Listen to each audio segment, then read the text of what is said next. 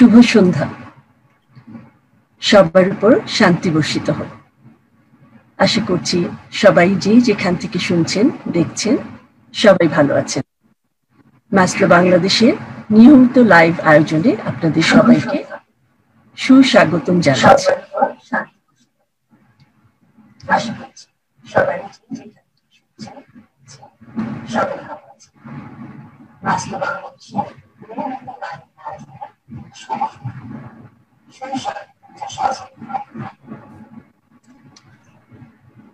আমরা জানি ম্যাসলো বিশ্বাস করে আব্রাহাম ম্যাসলো সেই অবিস্মরণীয় উক্তি অনুযায়ী what a man can be he must be মানুষের ভেতরে যে অমিত সম্ভাবনা, সেটি বিকাশ করতে পারাটাই মানুষের সর্বোচ্চ সাফল্য।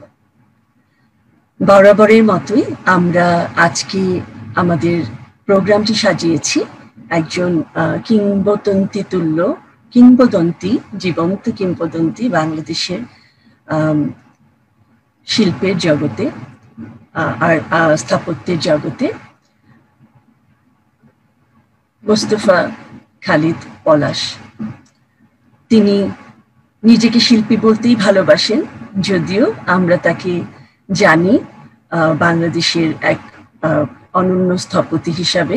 যার হাত ধরে বহু দারুণ স্থাপত্যকর্ম তৈরি হয়েছে। এবং আমাদের বসুন্ধরা শপিং মল, গ্রামীণ ফোনের যে প্রধান কার্যালয়, তারপর ওয়েস্ট এন্ড হোটেল, চট্টগ্রামের বেভিউ রেডিসন পাঁচ তারকা হোটেল সহ বহু বহু স্থাপত্যকর্ম তার হাত ধরে হয়েছে, তিনি নিজেকে একজন শিল্পী বলতে ভালোবাসেন। এবং তার অন্য অনেক পরিচয় আছে, আমি এক এক করে যদি বলতে চাই, এই তালিকা শেষ হবার নয়। তিনি প্রিন্সিপাল আর্কিটেক্ট এবং managing director at Vistaara architects private limited তিনি আমাদের স্থাপত্য, আমাদের ইনস্টিটিউট অফ আর্কিটেক্ট বাংলাদেশের সম্মানিত সহসভাপতি, তিনি ডেলভিস্টা ফাউন্ডেশনের চেয়ারম্যান,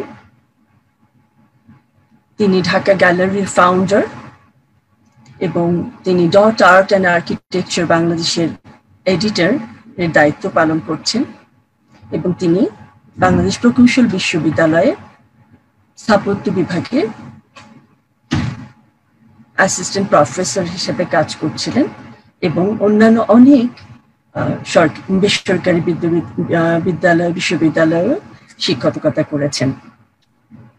স্থাপত্যের জগতে তিনি গুরু প্রবাদ মতিন তুল্য। আমরা তার যে আরও কিছু পরিচয় রয়েছে, স্যার নিজেকে শিল্পী বলতেই ভালোবাসেন। রং, তুলি, তার পেইন্টিং যারা দেখেছেন এটি এক এটাকে কীভাবে বলা যায়? একটা অসাধারণ যে তুলির আচর সেই তুলির আচর এক একটা এক একটা বিমুক্ত শিল্প এবং স্যার, ছোটবেলা থেকেই সাংস্কৃতিক জগতে এত বেশি ইনভলভড যে তিনি যন্ত্রসঙ্গীত যন্ত্রসঙ্গীতে ছোটবেলা থেকেই নিজের নিজের দক্ষতাকে একটি পর্যায়ে নিয়ে গিয়েছেন। এবং এবং স্যার রবীন্দ্রনাথকে চর্চা করেন এবং তার পুরা পরিবার এবং তার যে বিস্তার পরিবার আছে, সবাই মিলে রবীন্দ্রনাথকে ধারণ করেছেন তাদের হৃদয়ের একেবারেই ভেতরে হৃদিপদ্মে তিনি তাকে, তাদের, তাকে স্থাপন করেছেন। তো আমরা কথা বাড়াবো না। আমরা চলে যাচ্ছি স্যারের কাছে। আমি স্যারকে দেখতে পাচ্ছি? স্যার আসসালামু আলাইকুম আলাইকুম শুভ সন্ধ্যা। শুভ সন্ধ্যা স্যার মাসলো বাংলাদেশে আপনাকে সুস্বাগতম স্যার ধন্যবাদ ধন্যবাদ। মাসলো বাংলাদেশকে ধন্যবাদ শারমিন সুমি তোমাকেও ধন্যবাদ। স্যার আমরা আজকের যে প্রোগ্রামের নামটা এটি স্যার আপনি দিয়েছেন যাপিত জীবনের জয়গান। কি সুন্দর এই যে স্যার জীবনকে অনেকে যুদ্ধ মনে করে অনেকে ভাবে যে জীবন মানে যন্ত্রণা কিংবা স্যার অনেকেই ভাবেন যে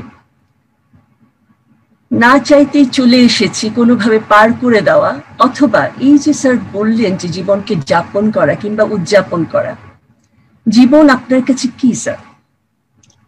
যদি বলতেন। হ্যাঁ, জীবনটা আসলে তো একটা উত্থান আর পতনের নাম। আমার হৃৎপিণ্ডের যে উত্থান পতন হচ্ছে, এই যে বিটগুলো হচ্ছে, একবার বিট আপে যাচ্ছে, আবার নিচে আসছে। আমরা যখন ওই যে ইকোকার্ডিওগ্রাম করি, একটা কার্ভ থাকে আপ ডাউন হয়, একটা অসিলেশন হয়। এটা যখন হয়, তখনই মনে করি যে আমি জীবিত। এই এই কার্ভটা যখন ফ্ল্যাট হয়ে যায় মানে আমার কোনো জীবনের উত্থান নেই, পতন নেই, যুদ্ধ নেই, সুখ নেই, দুঃখ নেই, একটা ফ্ল্যাট যখন হয়ে যায় যে কোনো অবস্থাতেই ফ্ল্যাট হয়ে যায় যদি, তখন কিন্তু আর এটা জীবন্ত জীবন থাকে না। আমি জীবিত থাকি, কিন্তু আমি জীবিত অবস্থায়ও মৃতের অবস্থান নিয়ে থাকি। তো সেই রকম ভাবে জীবনের এই যে আমি কেন জয়গান বলি, জয়গান কিন্তু আসলে শুধু আমি জয় করলেই জয়গান না। আমার দুঃখকে জয় করাকেও আমার জয়গান। আমি যখন দুঃখে থাকি সেটাও এক ধরনের গান। এই যে জীবনের বিভিন্ন পর্যায়ে মানুষের যে জার্নিটা, এই এই পরিক্রমার মধ্যে যে উত্থান এবং পতন এই যে উঠছি আর নামছি, এটাই তো আমার যাপিত জীবন। এটা কারও কেউ বলতে পারবে না যে আমি শতভাগ আমার জীবনে একেবারেই ওই যে মাসলোর ইয়ের মতন, পিরামিডের মতন একদম টপে বসে জন্মই হয়েছি টপে, ওইখান থেকে আমি শেষ হয়ে যাচ্ছে। তার মানে বুঝতে হবে সেও মৃত।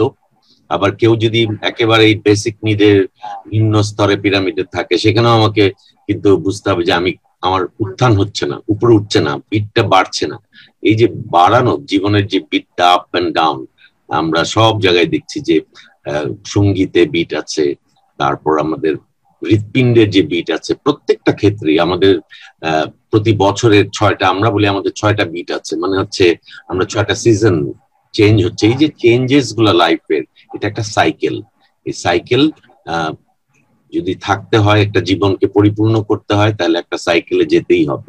সেই সাইকেলটা বারবার ঘুরতে পারে, একবার ঘুরতে পারে, কিন্তু এটা যখন ফ্ল্যাট হয়ে যাবে, তখন আর সাইকেল থাকে না। ইট বিকাম সামথিং ডিফারেন্ট তো সেই জন্য জীবনকে আমি সবসময় যুদ্ধকেও একটা জয়গান মনে করেছি। স্ট্রাগল যদি বলি আর কি, জীবন যুদ্ধ যেটা সেটা এখনও আছে, কখনো যে থাকে না তা না। হয়তো একসময় বেশি ছিল, করতে করতে এখন কমেছে, কিন্তু যুদ্ধ, দুঃখ, কষ্ট, আনন্দ, বেদনা, এই, এইগুলো তো জীবনের অপরিহার্য অঙ্গ। এইগুলো ছাড়া যদি কোনো জীবন হয়, সেই জীবন তো জীবন নয়। এই জীবন কারোই সেরকম জীবন ছিল না। যত খ্যাতিমান, বিখ্যাত বা ধনাঢ্য, যত যাকেই আমরা তার জীবন বৃত্তান্ত পর্যালোচনা করি, আমরা কিন্তু দেখব তার এই উপরে ওঠা ঢেউটা কিন্তু আছে। ঢেউ ছাড়া কোনো আমরা বলি যে কোনো নদীর যদি ঢেউ না থাকে, সেটা তো আর নদী থাকে না।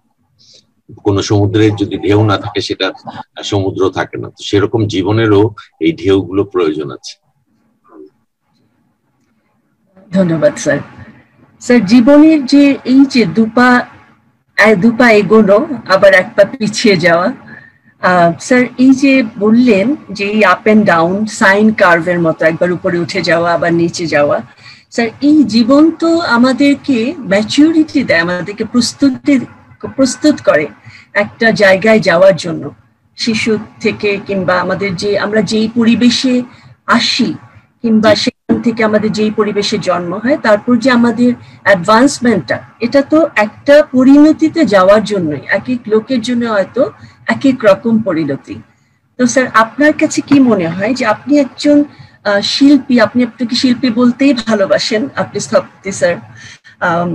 মিলেমিশে স্যার এটা তো স্থাপত্য একটা একটা অনবদ্য আসলে এটা একটা শিল্পকর্মই তো।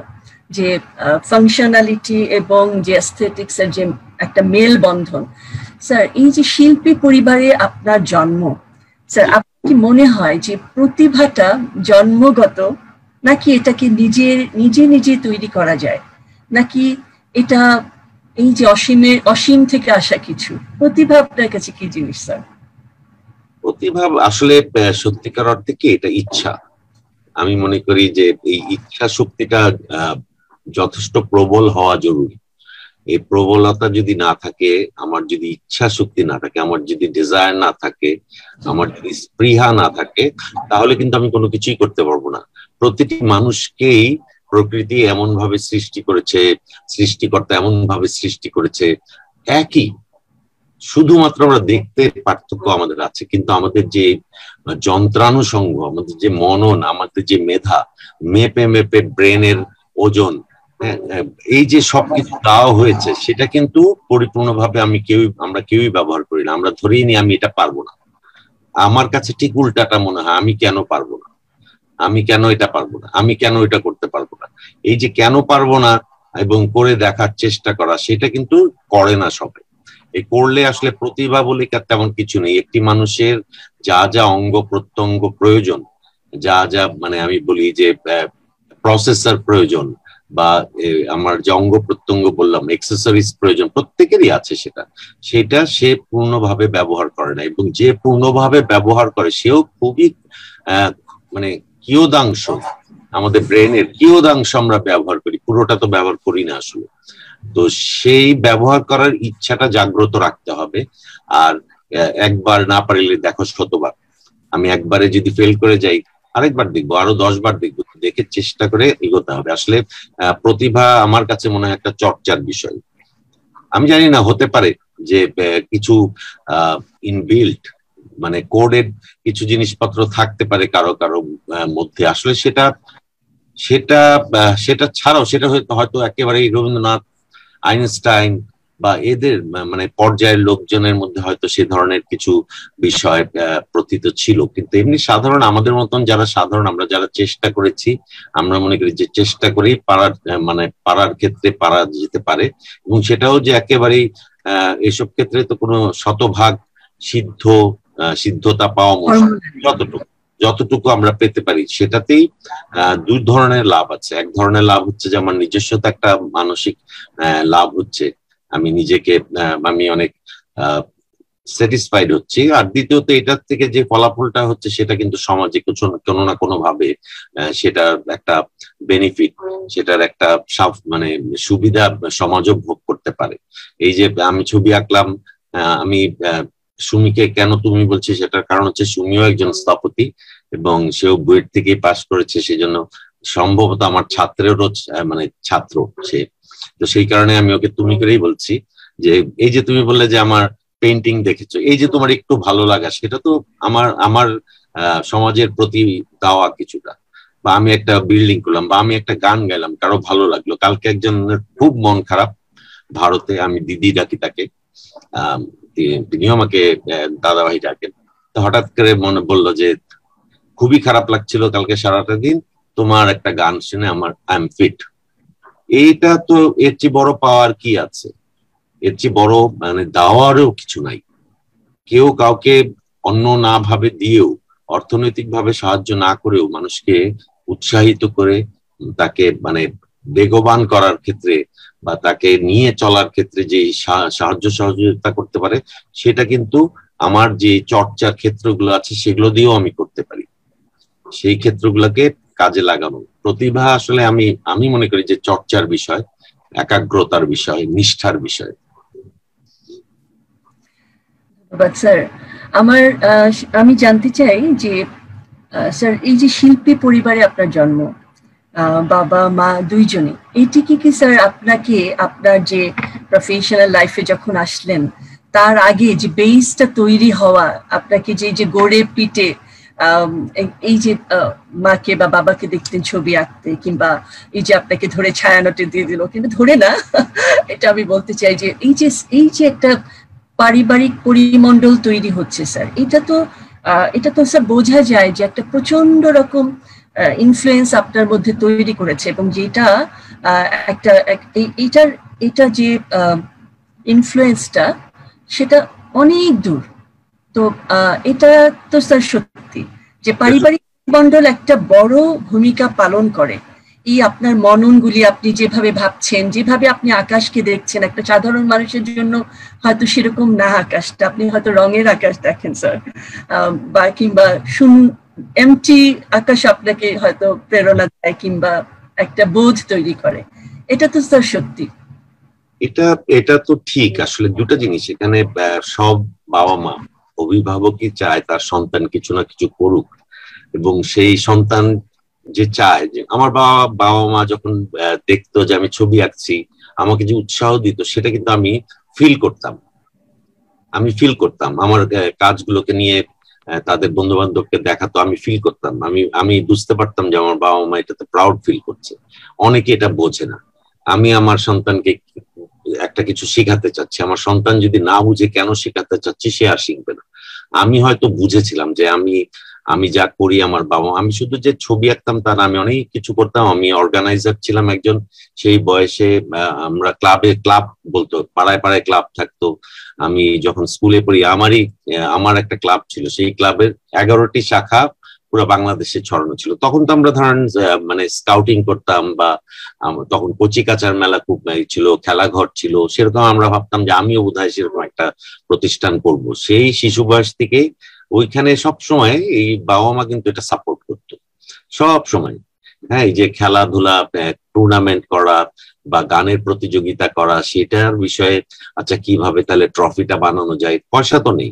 হ্যাঁ পয়সা নেই, কীভাবে বানানো যায়? এখন শিল্পী বাবা বলছে কাজ করো, তুমি মাটি দিয়ে ছোট ছোট এরকম জিনিস বানাও। একটা উনি বানিয়ে দিলেন, ওটা দেখে দেখে আমি সবার ট্রফি বানালাম। বা দাবা প্রতিযোগিতা করলাম, কি করা যায়? ট্রফি কোথা কোথাতে দিব? পয়সা তো নেই। সেই চলে গেলাম, ওল্ড টাউনে গিয়ে কাঠ কাঠ দিয়ে টার্নিং করে দাবার গুটি বানিয়ে ওই ট্রফি গুলো দিলাম। এই যে অর্গানাইজিং এর ব্যাপারটাও কিন্তু একটা বিরাট ব্যাপার। লিডারশিপের ব্যাপারটা, যে কীভাবে অর্গানাইজ করতে হয়। আমি তখন ষোলো, সতেরো বছর বয়সের, কিন্তু দেখা যাচ্ছে আমি ন্যাশনাল লেভেলের কম্পিটিশন অ্যারেঞ্জ করছি। এগুলো করেছি করে কিন্তু ওগুলোতে আমি পার্টিসিপেট করতাম না। আমি শুধুই অর্গানাইজার থাকতাম। কিন্তু ছবি আঁকার ব্যাপারে সবসময় আমার বাবা মা আমাকে অত্যন্ত উৎসাহ দিয়েছেন। বিশেষ করে আমার বাবা উনি আমার গুরু ছবি আঁকার বিষয়ে। আমি বাবার পরে যদি একটাই ক্ষোভ থাকে, সেটা আমার ক্ষোভ হচ্ছে আমাকে চারুকলায় পড়তে দেয়নি। আমাকে জোর করে ডুয়েটে ভর্তি করেছিল। কন্ডিশন ছিল যে আচ্ছা ঠিক আছে আর্কিটেকচারে না পেলে তুমি চারুকলায় পড়ো। কিন্তু সামহাও আমি আর্কিটেকচারের চান্স পেয়ে যাই, তো ওইখানেই পড়া শুরু করি। কিছুটা কিছুটা নিজেরও বোঝার বিষয় ছিল। চোখের সামনে তখন তো মোটামুটি ম্যাচিউর আমরা যখন ষোলো, সতেরো, আঠারো বছর বা তার আগের থেকেও সংসারে যদি কষ্ট থাকে, সংসারে যদি অভাব বা অনটন থাকে, সেটা কিন্তু সন্তানরা টের পায়, প্রতি মুহূর্তে টের পায়। এবং সেই সময় শিল্পী, দম্পতির একটা সংসার চালানো বেশ কঠিন ছিল, ঢাকা শহরে থেকে। এবং সবসময় আমার বাবা চাইতেন যে একটা ভালো বাসায় থাকতে হবে। পরিবেশটা ভালো থাকতে হবে, তারপরে দেখা যাবে কি খাই, না খাই। তো সেই রকম একটা অবস্থা ছিল, সেজন্য একটা ডিলেমার মধ্যে ছিলাম। যে কোথায় যাব। তো সেই অবস্থায় ওই ডিলেমার থেকে আর্কিটেকচার এই আর্কিটেকচার প্রতি একটা আকর্ষণ তো ছিলই। তো সেই আকর্ষণ আমার বাবা বুঝিয়েছিল যে আর্কিটেকচার পড়লেও কিন্তু পেন্টিং করা যাবে। কিন্তু পেন্টিং খালি করলে তুমি আর্কিটেকচার কিন্তু আর জীবনে করতে পারবে না। তো সেই সেই হিসাবে সেই সময় মজা লাগে এই কারণে যে চুয়াত্তর, পঁচাত্তর সাল তখন আমি কত ফাইভ সিক্স সেভেন এরকম পড়ি। বাবারা তখন হতো কি শিল্প মেলা হতো। তো তখন এটা পুরোটাই ইন্ডাস্ট্রিয়াল ফেয়ার পুরোটাই শিল্পীরা শিল্পী সমাজ তারাই এটা মানে ডিজাইন করতেন, তারাই বানাতেন। আমি কিন্তু তখন থেকেই আমার বাবাকে মডেল মেকিং এ হেল্প করতাম। তো সেইভাবে মানে আমি মোটামুটি বাবার ডান হাত ছিলাম আর কি অ্যাসিস্ট্যান্ট যে কোনো কিছুতেই তার এই ধরনের কাজগুলোকে মানে অনেক ক্ষেত্রে আমার উপর চাপিয়ে দিত যে তুমি এটা এটা শেষ করো, এইটুক করে দিলাম, বাকিটা তুমি করো। এই যে আমার উপর ডিপেন্ড করা এই যে কাজগুলো করতে দেওয়া, এটা কিন্তু বিরাট ব্যাপার। আমরা অনেক সময় আমাদের সন্তানদের উপরে সেই নির্ভরতাটা করি না। নির্ভর করতে হবে। করে দূর থেকে দেখতে হবে সে ঠিক করছে কি করছে না। যদি ঠিক না করে সেটা সংশোধন করে দেওয়া কারেক্ট করে দেওয়া। কিন্তু এই যে আমরা তাদেরকে সবসময় এমন ভাবে আগলে রাখছি আজকাল, যার কারণে তারা কিন্তু সোজা হয়ে দাঁড়াতে পারছে না। সোজা হয়ে দাঁড়ানোটা খুবই জরুরি। স্যার, আপনার বাবার প্রতি কৃতজ্ঞতা যে আপনাকে ধরে বেঁধে এখানে, না হলে আপনাকে আমরা কোথায় পেতাম? সো সবকিছুই স্যার, আসলে একটা ইউনিভার্সাল ডিজাইন থাকে, স্রষ্টার একটা ডিজাইন থাকে। উনি কাকে কোথায়, কখন, কীভাবে নিয়ে যাবেন, এই এই এই যে নকশাটা, এই যে স্থাপত্যটা, এইটা স্যার একটা অদ্ভুত জিনিস। স্যার, মা কিছু বলবেন? কোনটা আপনার মার কথা কিছু বলবেন? মাও তো শিল্পী ছিলেন, মাও শিল্পী ছিলেন। আমি একটু বলি এইভাবে যে আমি আমার বাবার ছেলে ছিলাম আর আমার বড় বোন আর ছোট ভাই হচ্ছে মার সন্তান। তো আমি একমাত্র মেয়ে, বিরাট ব্যাপার, আর একমাত্র ছোট ছেলে। সো ওই দুইটা বেশি আদরের সবসময় থাকতো। তা আমাকে সবসময় আমার বাবা আগলে রাখতো, মাও মানে আদর করতো। কিন্তু আমার সঙ্গে মায়ের আদরটা আদরটা বন্ধুত্বপূর্ণ হচ্ছে, বাবার সঙ্গে বন্ধুত্বপূর্ণ ছিল। আমি একেবারেই যখন আর্কিটেকচার পড়ি, তখন আমার বাবার সাথে গলা ধরে ঘুমাইতাম। তো সেই জিনিসটা কেন জানেন না, আমি আমার বাবা ওইভাবে আমাকে আগলে রেখেছিলেন। আমাকে ধরে ধরে কি করতে হবে? এখনও মানে কতগুলো কথা মনে হয় যে, গাছ যত বড় হয় তত নুয়ে পড়বে, কিন্তু তুমি কিন্তু এটা কোনোদিন ভুলবে না। আমি সেটা ভুলার কখনোই চেষ্টা করি না। আমি সবসময় মনে করি যে, আমি একেবারেই মাটি দিয়ে চলতে ভালো লাগে। মাটি দিয়েই চলতে চাই। সারা জীবন যে কদিন আছি আর, তো সেই যে অহমিকা, অহংকার এটার থেকে কিন্তু নিজেকে বের করে আনতে হবে। এগুলো সব আমার বাবা আমাকে বলতেন আর কি যে, এই করতে হবে, ওইটা কিন্তু করতে হবে। তুমি এটা করলে কিন্তু ওইটা করবে না। হ্যাঁ ওইটা মিথ্যা কথা বলবে না, অমুক করবে না। সেটা আমার বাবার থেকে আমি সবসময়, উনি খুবই সহজ, সরল একজন মানুষ ছিলেন। তো সেই হিসাবে তার থেকে এটা পেয়েছি। আর আমার ছোট ভাই শিমুল মুস্তাফা বৃতেকার বড় বোন আমার ছিল একজন, তিনি মারা গেছেন আঠাশ বছর বয়সে। তো তাদের দুজন আবার মার দিকে বেশি ঘাসা ছিল। এটা হয়, ফ্যামিলিতে কেউ মার দিকে থাকে, কেউ বাবার দিকে থাকে। তা আমাকে আসলে আমার বাবা সবসময় তার যে কোনো অফিসিয়াল কাজেও চলে যেতাম বাবার সাথে। যে সেখানে গিয়ে বসে থাকতাম, সারাদিন দেখতাম, অফিস চলে যেতাম। অফিসে চলে গিয়ে বসে থাকতাম রুমের মধ্যে। কি করে বা টাইপ রাইটারটা নিয়ে একটু তার টাইপ টাইপিস্টের সঙ্গে গিয়ে একটু কাজ করলাম বা রং তুলি ছিল ওগুলা নিয়ে ডিজাইন সেন্টারে ওইখানে কাজ করলাম। তো এই ধরনের সবসময় তার সঙ্গে ছিলাম, আমি বললাম যে আমি তার সহকারীর মতন ছিলাম। সহকারীর মতন ছিলাম এবং উনি চলে যাওয়াটা মানে আমার জন্য একটা আমার বিগেস্ট মানে অ্যাপ্রিসিয়েশনের যে জায়গাটা ছিল, আমাকে যিনি সবসময় উজ্জীবিত করতেন সেই জায়গাটা আমি মিস করি আজও। আজও মনে হয় যে মানে আমি আব্বা ডাকতাম। বাট আমার ছেলেদেরকে কিন্তু আমি বাংলায় বাবা ডাকা শিখিয়েছি। তো আমরা যেহেতু বাংলাদেশের সন্তান, তো যাই হোক, আমি এখনও মনে করি যে আমার বাবা বেঁচে থাকলে কত খুশি হতেন। এই ছবিটা দেখলে হয়তো খুবই খুশি হতেন। এমনও হয়েছে যে বিছানায় শুয়ে আছে, শুয়ে সে আমি ছবি আঁকছি, ওইখানেই শুয়ে থাকতাম আমার একটু এম্বারেস ফিল করতাম যে এম্বারেসিং শুয়ে আছে। না, এটা আমি এখানেই থাকব, তুমি থাকো। বা সেতার বাজাচ্ছি, ওইখানে সামনে বসে থাকবে। সামনে বসে থেকে যতক্ষণ এক ঘণ্টা প্র্যাকটিস করছি, ওইখানে উনি বসে থাকবে। বা আমার বোনের গানের শিক্ষক আসছে, ওইখানে বসে থেকে পাশে বসে বসে শুনবে। তো সেরকম একজন মানুষ ছিল। তার চলে যাওয়াটা খুবই মানে আর্লি হয়েছে। একটু মানে আমি আমি আসলে বাবাকে সেরকম ভাবে আমার যে যতটুকু আমি সাফল্য অর্জন করেছি, কিছুই দেখাতে পারিনি। উনি পঁচানব্বই সালে মারা গেছেন, উনষাট বছর বয়সে। তো সেই জন্য এখনও মাঝে মাঝে মনে হয় কিছুই তো দেখে গেল না। হয়তো বা বাইরের থেকে উপর থেকে দেখছেন।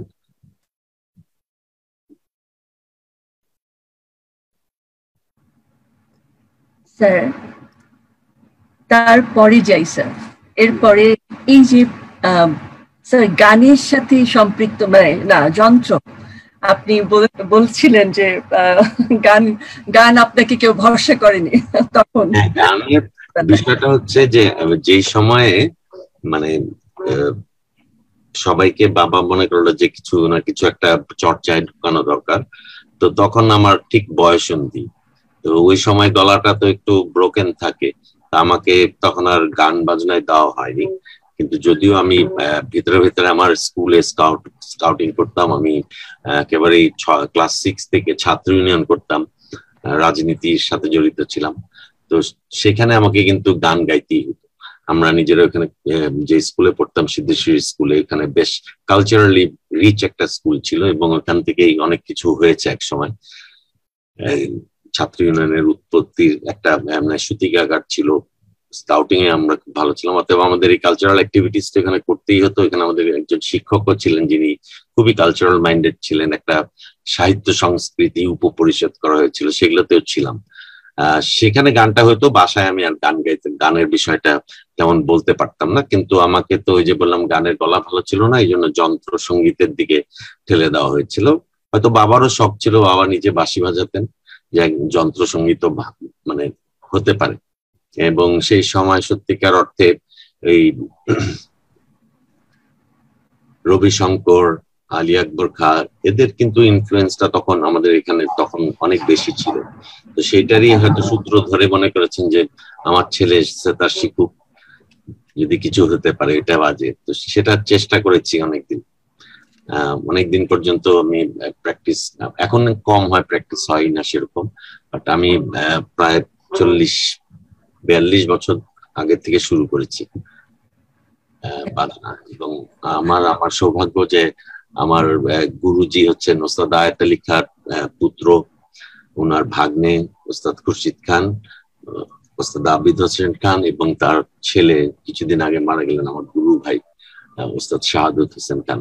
এনাদের তিনজনেরই সান্নিধ্য আমি পেয়েছি, তাদের কাছে আমি সরাসরি উচ্চাঙ্গ যন্ত্র সঙ্গীতে তালিম নিয়েছি অনেকদিন এটা একটা বিশাল সৌভাগ্যেরও ব্যাপার, স্যার। আর শুরুটা কি স্যার একটু ধরে বেঁধে হয়েছিল? এই যে যন্ত্রসঙ্গীতের ব্যাপারটা নাকি একটু আপনি টিউন্ড হয়ে গিয়ে না, বিষয়টা এরকম খুবই অবাক হবে মানে সবাই অবাক হবে। আমাদের এই মানে এই যে চাওয়াটা হয়তো পিরামিডের এই একেবারে তলায় থেকেও পিরামিডের একদম উপরের যে এস্টিমের বিষয়টা খুব স্ট্রং ছিল। কিন্তু ফিজিক্যালি একেবারে হয়তো পিরামিডের বটমের দিকে ছিলাম। আমি একবার টাইফয়েড আক্রান্ত হই। তো বেশ তখন টাইফয়েড মানে খুব সিরিয়াস বিষয়। আমার বাবা তখন একটা জমি বিক্রি করে ওই হসপিটালে গিয়ে আমাকে সেতারটা নিয়ে আসেন তো এইরকম একটা অবস্থা যখন ওইটা হাতে পাই, সেই সময় সেতার কিন্তু অনেক দাম। মানে তিন হাজার টাকা দাম মানে হচ্ছে অনেক। আমি সত্তর দশকের শেষের দিকের কথা বলছি। তো সেই, সেটা পাওয়ার পরে সে ওইটা একটা ইমোশনাল অ্যাটাচমেন্ট ছিল। তারপর তো আস্তে আস্তে সে তার একটা দেখতেও সুন্দর যন্ত্র। তার ধ্বনি, অসম্ভব শ্রুতি, মধুর মেলোডিয়াস সবকিছু মিলিয়ে রবি শঙ্কর হ্যাঁ একটা মানে রোল মডেল এরকম একটা অবস্থায়, ঠিক আছে, আমিও ওইটা মেনে নিয়েছি তখন। কিন্তু এটা বলতে চাইলাম যে একজন লোক তার জমি বিক্রি করে একটা যন্ত্র কেনে। সেরকম বাবার সন্তান আমি। অতএব আমাদের যে চাওয়া পাওয়া সেটা কিন্তু যদি পাওয়াটা চাওয়াটা কিছু নাই, যেটা পাওয়া হয় সেটা একটা লজিক্যাল কনসিকুয়েন্স হিসাবে আসে। কিন্তু মনের মধ্যে যেই চাওয়া, সেই চাওয়া কিন্তু সুর, যে, সেই চাওয়া হচ্ছে আমাদের ছবি, এগুলোই চাওয়া। একটা সুন্দর জীবন, ছিমছাম জীবন, এটাই চাওয়া। কিন্তু এর মধ্যে হয়তো পাওয়াতে বেশি পাওয়া হয়ে যায়, বৈষয়িক বিষয়ে পাওয়া বেশি হয়, কিন্তু ওই বৈষয়িক পাওয়াতে আসলে তেমন কোনো লাভ নাই। যদি সেলফ অ্যাকচুয়ালাইজেশন না হয়, ওইটা যদি আমি না বুঝতে পারি, তো সেটাই আমরা এখনও চেষ্টা করি। আমরা, আমি, আমার স্ত্রী, সেও আমার সহপাঠী ছিল, একই একই ধারায় আছি, একই ভাবে ভাবি, একই পথে চলি, একই একই ভাবেই আছে। কোনো তারতম্য নাই আমাদের ভাবনা চিন্তা সেজন্য আমার কাছে আরও মনে হয় যে খুব আরাম হচ্ছে। ঢেউয়ে যখন দুজন উপরে উঠছে, একসাথে উপরে উঠছি, ঢেউয়ের নিচে নামছি, যখন একসাথে নামছি দুজনের ঢেউয়ের এই যে তারতম্য নাই। ঢেউ আছে জীবনে, এই ঢেউটা চলছে এবং এই ঢেউয়ে নৌকা, যে নৌকায় ভর করেছে, আমরা উপরে উঠি একসাথে, নিচে নামি একসাথে। অতএব মানে আমাদের নিজস্ব যে বৈষয়িক চাওয়া, সেটার মধ্যে কোন রকম জোর জবরদস্তি নেই। আমাদের চাওয়া হচ্ছে যে আমরা গান গাইতে চাই অনেক। হ্যাঁ আমরা সুস্থভাবে বাঁচতে চাই, আমরা মানুষের জন্য কিছু করতে চাই, এগুলাই তো চাওয়া আসলে। আমি কাজ করলে সে আমার ওই যে আমার বাবা যেই জায়গাটা আমি মিস করি সেই জায়গাটা সে পূর্ণ করে। যেমন সে আমাকে উৎসাহিত করে যে কোনো কিছুতে ছবি আঁকতে হবে। কোভিডে প্রচুর ছবি এঁকেছি, ছুটি পেলে ছুটি মানে আর্কিটেকচার করতে গিয়ে অনেক কিছুই করা হয় না।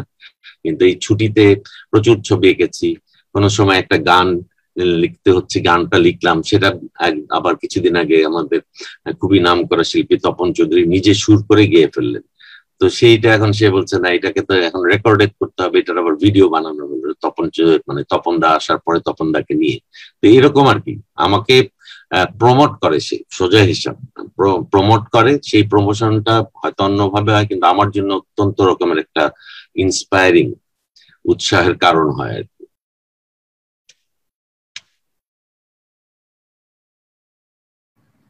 স্যার আপনাদের এই যে দাম্পত্য জীবনের বোঝাপড়া এটা কিন্তু সবার অনেক অনেক লোক আপনাদের দিকে তাকিয়ে থাকে অন্তনাপা এবং আপনার যে বন্ডিং এটা কিন্তু উদাহরণের মতোই। আর্কিটেক্টরা একটু অস্থির হন কিংবা জানি না টলারেন্স কম হয় কিনা কিন্তু অনেক সময় তারা একজন আরেকজনকে বুঝতে পারেন না কিন্তু এই যে আপনারা যে একজন আরেকজনকে যেভাবে ধরে রাখেন যেভাবে নার্চার করেন একজন আরেকজনের জায়গাটা এটা নিয়ে, স্যার, আমরা একটু কথা বলব বিকজ আজকে যে অস্থির জেনারেশন তাদের কিন্তু এইখান থেকে, স্যার গাইডেন্স দেওয়ার আছে। সিকুয়েন্সিয়ালি আমরা সেইখানে অবশ্যই চলে যাব ইনশাল্লাহ তো, স্যার, এরপর আমি যেখানটা যেতে চাই, সেটা হলো যে আপনি দশম শ্রেণীতে থাকা অবস্থায় একক চিত্র প্রদর্শনী করলেন, স্যার। কামরুল হাসান সেটার উদ্বোধন করলেন পটুয়া কামরুল হাসান। তো, এইটা আপনার আপনার ফিলিংসটা বলেন, স্যার, আপনি কি ফিল করলেন? নাকি এটা মানে আমি তো স্কুলে থাকতে সবসময় ছবি যে আঁকি সেটা সবাই জানতো। প্যারালালি আমি বলেছি আমার আমি তখন একটা বিজ্ঞান ক্লাব করি অনুসন্ধিৎস চক্র। এখনও সেটা আছে সেটা তারা এখনও আমাকে আজীবন সদস্য করে রেখেছে। আমি অনুসন্ধিৎস চক্র করতাম আমি ছাত্র ইউনিয়ন করতাম। তো এই দুটি প্রতিষ্ঠান আর সঙ্গে আমার যে নিজস্ব ক্লাব বলেছি সেটা ছিল। আমার বন্ধু বান্ধবরা সবসময় হয় না, একজন বন্ধুকে আসলে আমরা যখন একটা দল তৈরি করি বা একটা গোষ্ঠী তৈরি করি, সেখানে কাউকে না কাউকে আমরা এক ধরনের লিডারশিপ দিই বা কাউকে না কাউকে আমরা একটা মেন্টরশিপ দিই। আমার বয়স ছোট থাকলেও আমাকে সেরকম একটা অবস্থানে আমার এই চারপাশের লোকজনটা সবসময় মনে করতো যে, তোমার এটা করা উচিত, তোমার এটা করা উচিত। হ্যাঁ তুমি আজকে কি ছবি আঁকলা? এভরিডে ছবি আঁকতাম। তো এভরিডে ছবি আঁকতাম মানে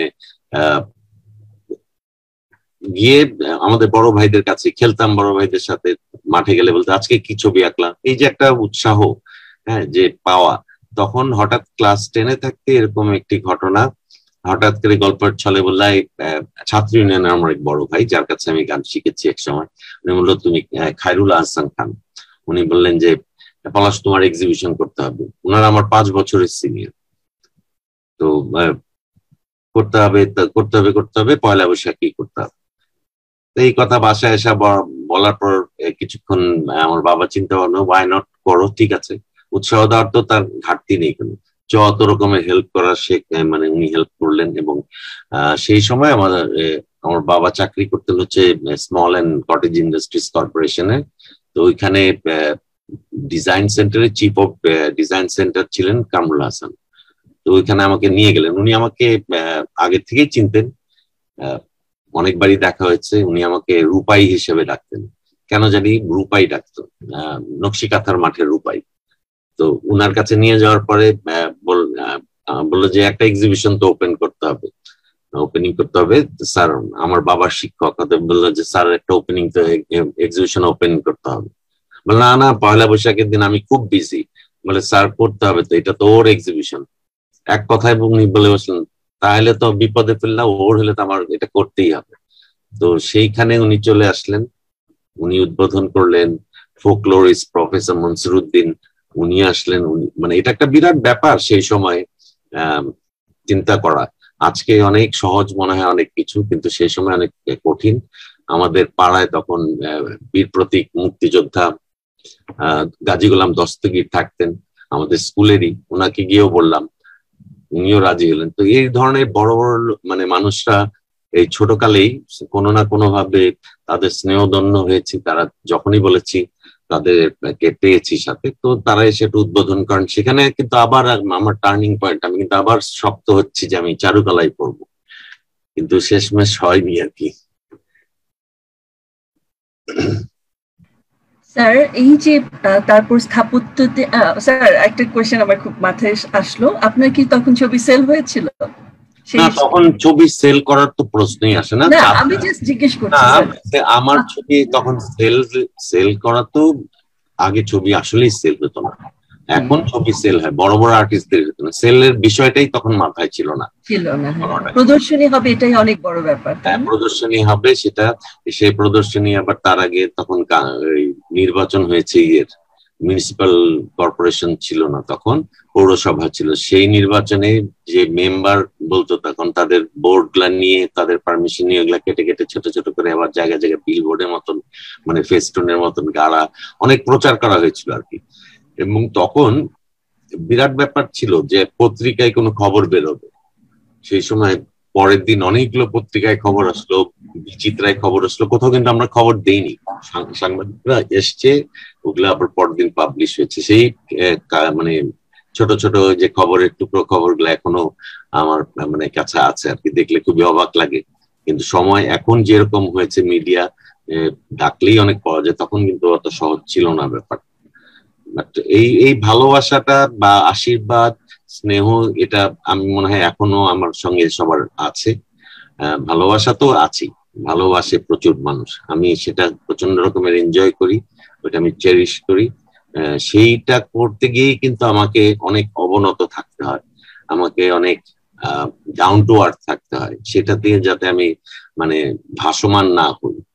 সেই জিনিসটা আমি সবসময় নিজে থেকে লক্ষ্য রাখি এবং সেটা চর্চা করার মানে চেষ্টা করি। স্যার এই যে ছাত্র ইউনিয়নের ব্যাপারটা এটা কি আপনি স্যার ইউনিভার্সিটির সময়টা নাকি তার আগে থেকে না না আমি আমি বললাম আসলে একটা জিনিস বুঝতে হবে যে আমরা যখন স্বাধীনতা হলো একাত্তর সালে প্রচণ্ড রকমের দারিদ্র ডিসপ্যারিটি এগুলো হলো। সেই সময় এই মার্কসিজম লেনিনিজম এগুলা কিন্তু বেশ একটা বাম রাজনীতির একটা হাওয়া আসলো। সেই হাওয়াতে আমরা মনে করতাম যে সাম্যবাদ হ্যাঁ এটা, এটাই হচ্ছে আসলে সব কিছু এইটার ভিত্তিতে এই যে বড় ভাইরা বলেছে, আমরা সবসময়, এটা হয় না, সবাই তো কমরেড হতে চায় জীবনে। তো সেই কমরেড হওয়ার লক্ষ্যে আমরা তখন এই ছাত্র ইউনিয়ন শুরু করলাম। ইউনিভার্সিটি লাইফে গিয়ে আমি যেটা করেছি, এটা প্রচ্ছন্ন। আমি সরাসরি করিনি। আমি, আমার নাম ছিল সব জায়গায় ছোটখাটো বিষয়ে ইনভলভ ছিলাম, কিন্তু প্রত্যক্ষভাবে ইউনিভার্সিটিতে গিয়ে আর ছাত্র ইউনিয়ন করা হয়নি। কিন্তু স্টুডেন্ট লাইফে কিন্তু খুব মানে প্রত্যক্ষভাবেই ছিলাম। স্টুডেন্ট মানে হচ্ছে একেবারে স্কুল লাইফে যখন থাকার কথা না পলিটিক্সে ক্লাস সিক্স থেকেই ছাত্র ইউনিয়ন এবং সেই ক্ষেত্র ধরেই এখন পর্যন্ত মানসিক ভাবে সেটা মনে করি যে এটা সবাইকে টেনে ডিগ্রেড করার চেয়ে আমরা সবাইকে আপগ্রেড করার একটা অ্যাটেম্প নিতে পারি। সবাইকে উঠানো সেই সাম্যবাদের সেই ধারাতেই এখন চিন্তা ভাবনা করি আর আমি এটাই বলতে চাচ্ছিলাম যে এই যে তখনকার সময়ে এই যে মার্ক্সবাদের এই যে ভাবনাগুলি যে বইগুলি পড়া হতো মা ম্যাক্সিম গোল বই হুম। হ্যাঁ এটাও বিরাট ব্যাপার ছিল। তখন হ্যাঁ, কিন্তু ইন্টারেস্টিং তুমি তখন প্রচুর ইনফ্লুয়েন্স ছিল Russian influence Russian influence political influence ছিল উদয়ন পত্রিকা বেরোতো তারপর রাশান অনেক বই খুবই সস্তায় ননী ভৌমিকের মানে ট্রান্সলেশনে রুশ দেশের উপকথা উভচর মানুষ ভীষণ প্রগতি প্রকাশনী প্রচুর একটা বড় মানে হেজিমনি ছিল রাশান এই হেজিমনিটা থাকার কারণও আছে। কারণ আমাদের মুক্তিযুদ্ধে ভারতের সাথে সাথে রাশা আমাদেরকে অনেক সাহায্য করেছে। এটা আমরা ইয়ের থেকে পাইনি হ্যাঁ মার্কিন যুক্তরাষ্ট্র থেকে পাইনি। সেই জন্য তাদের প্রতি একটা সিম্প্যাথি ছিল। তারা এখানে বেশ ভালোভাবেই মানে এই জিনিসগুলো প্রচার প্রচারণা করত। এবং একটা সাম্যবাদের একটা ডাকও বঙ্গবন্ধুর ইতে সমাজ, সমাজের যে সাম্যতা সেটার বিষয়ে বঙ্গবন্ধুর কিন্তু একটা আহ্বান ছিল। জি। স্যার। এখানেই স্যার এই যে আপনার যে স্যার বিনয় এবং এই যে এই যে এই সমসাময়িকটা এবং ওই রাজনৈতিক যে প্রেক্ষাপটটা হ্যাঁ এবং বাংলাদেশের তৎকালীন যে অবস্থা, এটাও কিন্তু স্যার মানে খুব আমার মনে হয় যে আপনাকে আপনাকে আরও এই যে ম্যাচিউরিটির দিকে আপনি আরও আগে থেকেই অনেক ম্যাচিউর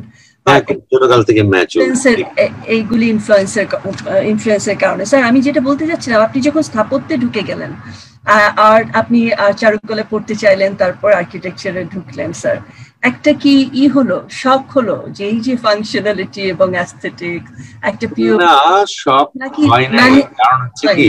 জানতেন সব না তুমি যেহেতু বুয়েটে আর্কিটেকচার ডিপার্টমেন্টে পড়েছো জীবনের একটা অসম্ভব সুন্দর সময় আমরা ওইখানে রেখে এসেছি।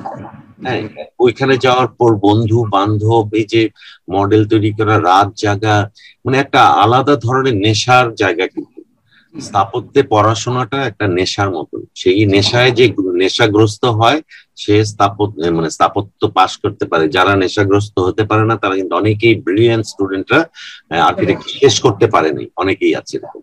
তো সেই জন্য ওই যে ওইখানে পড়লাম, নেশা বন্ধু বান্ধব সব মিলে কি একটা নতুন জগৎ, সেই জগতে তো হারিয়ে গেলাম। বয়সটা তো তখন ওরকম না যে একেবারেই গোড়ামির মধ্যে ছিলাম না। স্থাপত্য আমার অনেক ভালো লাগতো আগে থেকে, কারণ আমাদের বড় ভাইরা পাড়ার বড় ভাই দু একজন পড়তো। আমরা তাদের কাজ দেখতাম মডেল দেখলে খুব মিনিয়েচার জিনিস দেখলে মজা লাগতো। সেই যাতায়াত ছিল ডিপার্টমেন্টে কয়েকবার গিয়েছি সেন্টেনারি হলো যখন একশো বছর। তো সেই সব দিক থেকে একটা আকর্ষণ যে ছিল না প্যারালালি তা না, সেটা ছিল। কিন্তু ওই যা গেছে তা যাক না। ওই রকম একটা ভাব ছিল কিন্তু আবার ওই যে ওই কথাটা আবার যে আর্কিটেকচার পড়লেও পেন্টিং করা যায় কিন্তু আর্টিস্ট হলে কিন্তু আর্কিটেকচার করা যাবে না।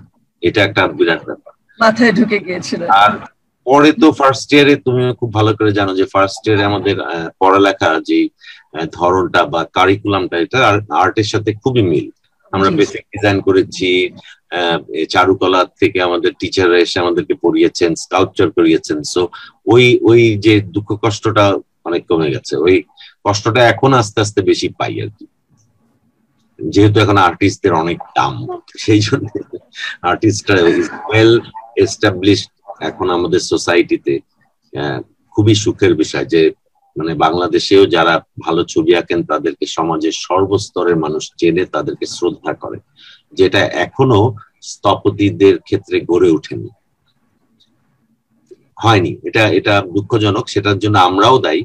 একজন শিল্পী যেভাবে সর্বস্তরে একটা র্যাপও মেনটেন করে যাতায়াত করে সোশ্যালাইজিং হয় আর্কিটেক্টরা কিন্তু একটু ঘর নিবৃতচারী তারা এটা নিবৃতচারী বলব না অনেক সময় অ্যারোগেন্স থেকেও মানে একটু অ্যারোগেন্টও হয় অনেক সময় যে সে সব জায়গায় যেতে চায় না কিন্তু কিছু কিছু মানুষ আমরা স্থপতিদের দেখেছি যারা সব জায়গায় যায় ওয়ারেস স্যারকে দেখেছি যে কোনো অনুষ্ঠানে যায় আমরা রবিউল হোসেনকে দেখেছিলাম মানে সর্বস্তরের কবি সাহিত্যিক শিল্পী সবাই তাদেরকে মানে একজন তাদের হ্যাঁ তাদের নিজস্ব নিজেদের মানুষ মনে করেন। মানুষ মনে করে।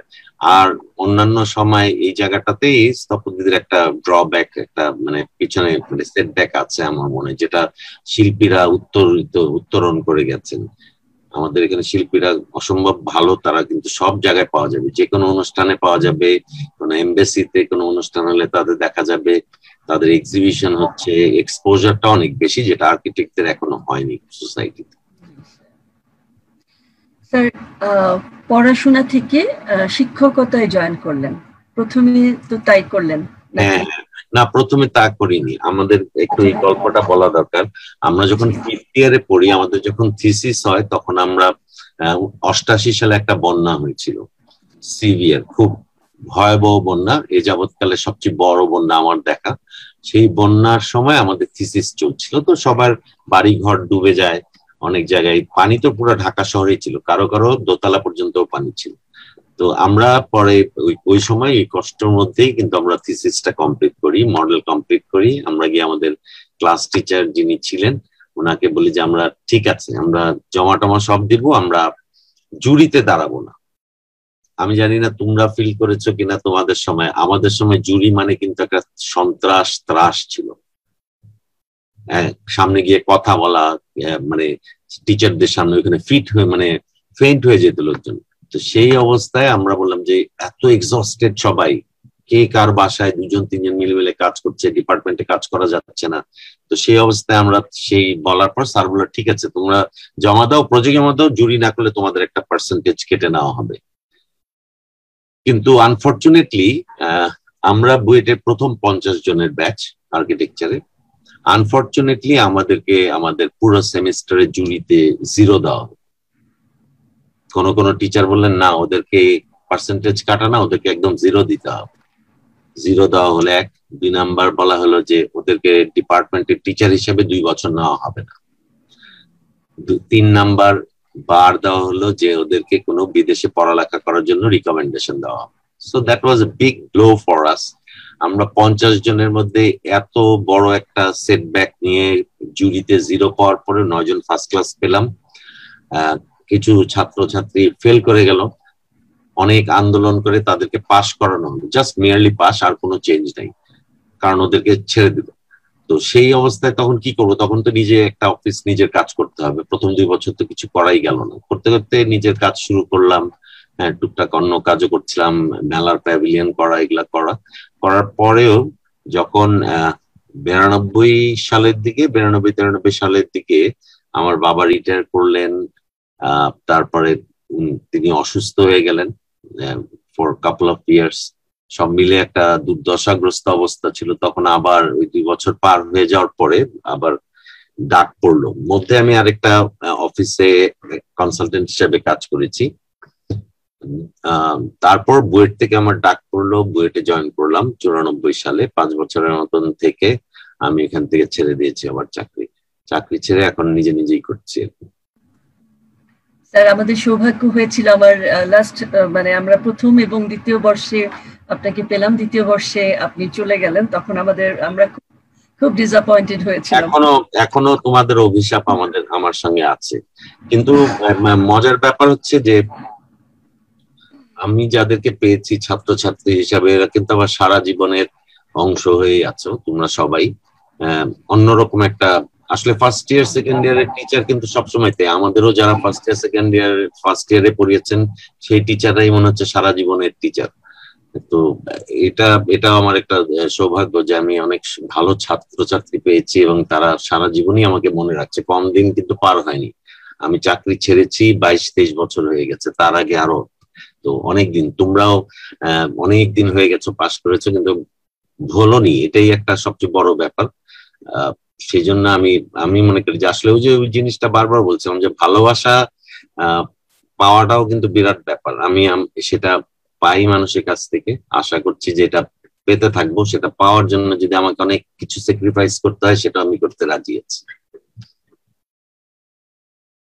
স্যার, এইটা কিন্তু আপনার গুণ। আপনি কাউকে ছেড়ে যেতে দেন না কাউকে।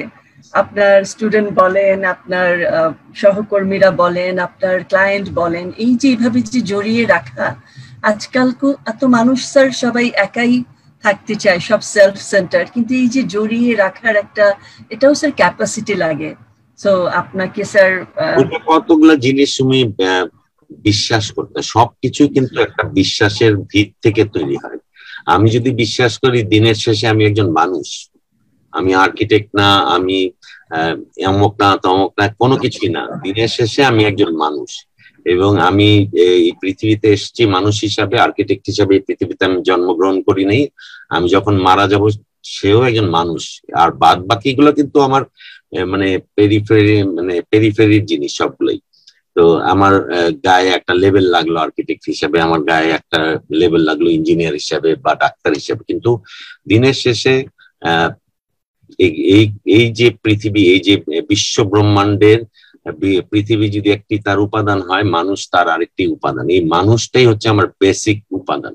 সেই জায়গাটাতে আমি যদি ঠিক না থাকতে পারি, সেই জায়গাটাতে আমি যদি সঠিক না থাকতে পারি, সেই জায়গাটাতে আমি যদি নিজেকে বিচ্ছিন্ন করে রাখি অন্য মানুষ থেকে, তাহলে কিন্তু আমি হারিয়ে যাব। এই কথাটা কিন্তু বিশ্বাস করলে আমি নিজেকে সেই সকলের সাথে, সকলের আসলে কতগুলা জিনিস মানুষে মানুষের যেই সম্পর্ক, তার কিন্তু ভিত হচ্ছে একটা বিশ্বাস। আরেকটা ভিত হচ্ছে ভালোবাসা। এই বিশ্বাস, ভালোবাসা, শ্রদ্ধা, এগুলো যদি না থাকে, এই কয়েকটা জিনিসের উপর ভিত করেই আমি কিন্তু পরে আবার তুমি যখন বললে যে আসলে যে আমার আমাদের, আমার ওয়াইফের কথা যদি বলি, আমরা মনে করি যে আমাদের পরস্পরের প্রতি শ্রদ্ধা পরস্পরের প্রতি বিশ্বাস এবং পরস্পর প্রতি ভালোবাসা। এই তিনটা উপাদান প্রতিটা ক্ষেত্রে, প্রতিটা জীবনের প্রতিটা সম্পর্কেই জরুরি। সেটা না থাকলে কিন্তু হবে না। বিশ্বাসঘাতকতা করলে হবে না। তারপর আমি যদি না ভালোবাসি তাহলে হবে না। মানুষ, মানুষকে ভালোবাসতেই হবে। মানুষ মানুষের জন্য এটা বুঝতে হবে। তো সেই জন্য, আমার জন্য তো পৃথিবীর সবকিছু ঈশ্বর তৈরি করে দিয়েছেন। কিন্তু দিনের শেষে যেই মানুষটি আমার পাশে আছে, সে যদি আমার না হয়, তাহলে এই এত বিশ্ব ব্রহ্মাণ্ডে দিয়ে তো লাভ নেই। সেই জিনিসগুলো আমি চেষ্টা করি প্র্যাকটিস করার। সেই জন্য হয়তো সবার সঙ্গে এই সম্পর্কটা রাখার চেষ্টা করি। আমি আমি আমার সাথে সম্পর্ককে, সবার সাথে সম্পর্ককে অনেক বেশি ভ্যালু দিই। আমার ক্লায়েন্টের সাথে, আমার সম্পর্ক, আমার প্রজেক্টের চেয়ে ইম্পর্টেন্ট আমার ছাত্রর সাথে, আমার শিক্ষকতার চেয়ে, আমার তার যে রিলেশনশিপ সম্পর্ক, এটা সবচেয়ে ইম্পর্টেন্ট সেই জিনিসগুলো সবসময় মনে রাখি। অনেক সময় যখন মনে হয় ক্লায়েন্টের সাথে যে বনছে না উনার চাওয়া পাওয়ার সাথে আমি দিতে পারছি না বা আমি মানতে পারছি না, তখন সুন্দর করে বলি যে লেটস কিপ দ্য রিলেশনশিপ আমরা বন্ধু বা আমরা এইভাবে থাকি, আপনি আমার বড় ভাই, এই প্রজেক্টটা আমি না করি প্লিজ চলেন প্লিজ এটা না করি। এরকম অনেক করেছি কিন্তু। এবং we are continuing with our relationship উনি আবার ঘুরে হয়তো দশ বছর পরে আবার আসে আমার কাছে প্রজেক্ট নিয়ে। আমি জানি যে এই প্রজেক্টটাও শুরু করব এটা ওনার সাথে আমার মিলবে না। আবার বলি যে এটা ঠিক আছে, থাক, বাদ দিন। না ভাই, এটা আবার এই জিনিসটা আমি যদি অ্যারোগেন্ট হয়ে যাই তাহলে কিন্তু হবে না। অ্যারোগেন্সির কোনো স্থান নেই। কোনো স্থান নেই এই যে নিজে রাগ করা মানেই নিজের হেরে যাওয়া।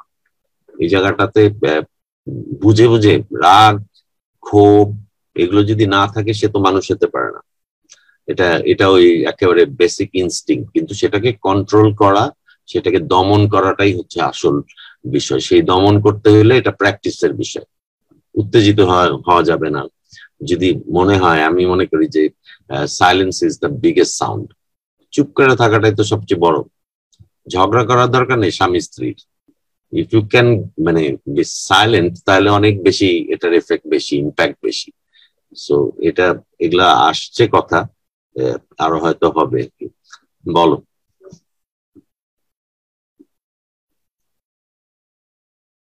বিলিভের কথা বলছিলেন যে অন্যকে বিশ্বাস করার ব্যাপারটা। আমি কয়েকটা কথাই করি, স্যার।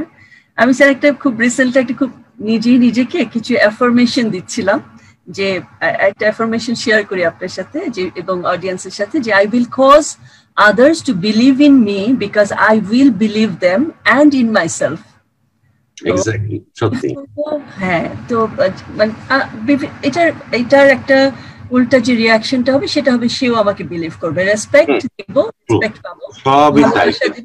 সবকিছুই sir this is to a traffic এটা তুমি যা দিবা সেটাই রিটার্ন পাবে। এটাই হচ্ছে কথা। হয়তো মাল্টিপ্লাইড হয়ে রিটার্ন পাবে স্যার এটা চান্স বেশি। সুদের আসলে আসবে আর কি তখন ফেরত।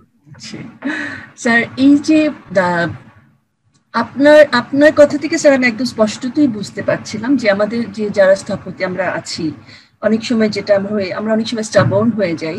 তো এই যে ক্লায়েন্ট ক্লায়েন্টের তো স্যার নিজস্ব একটা পারিপার্শ্বিকতায় সে বড় হয়েছে, তার একটা মাইন্ড সেটিং হয়তো তার যে চাওয়াটা, এটা হয়তো ছোটবেলায় সে একটা খুব বড় একটা বাড়িতে গিয়েছিল, তার মনে হয়েছিল তার সিঁড়িটা এমন হবে, কিংবা সিনেমাটা দেখে মনে হয়েছিল এইরকম হবে। কিন্তু যখন আমরা যে আমরা যখন প্র্যাকটিস করি বা কন্টেম্পোরারি আমাদেরও কিছু স্বপ্ন থাকে, আমরা তাদের সাথে হ্যাঁ আমরা এই যে স্যার এই যে কোলাবোরেট করাটা, যে তাকে একটা জায়গায় নিয়ে যাওয়া ইটস এ জার্নি তার মেন্টাল প্রসেসের ভেতর দিয়ে তাকে একটা একটা জার্নিতে নিয়ে যাওয়া যে সামথিং ম্যাগনিফিসেন্ট তৈরি করার জন্য।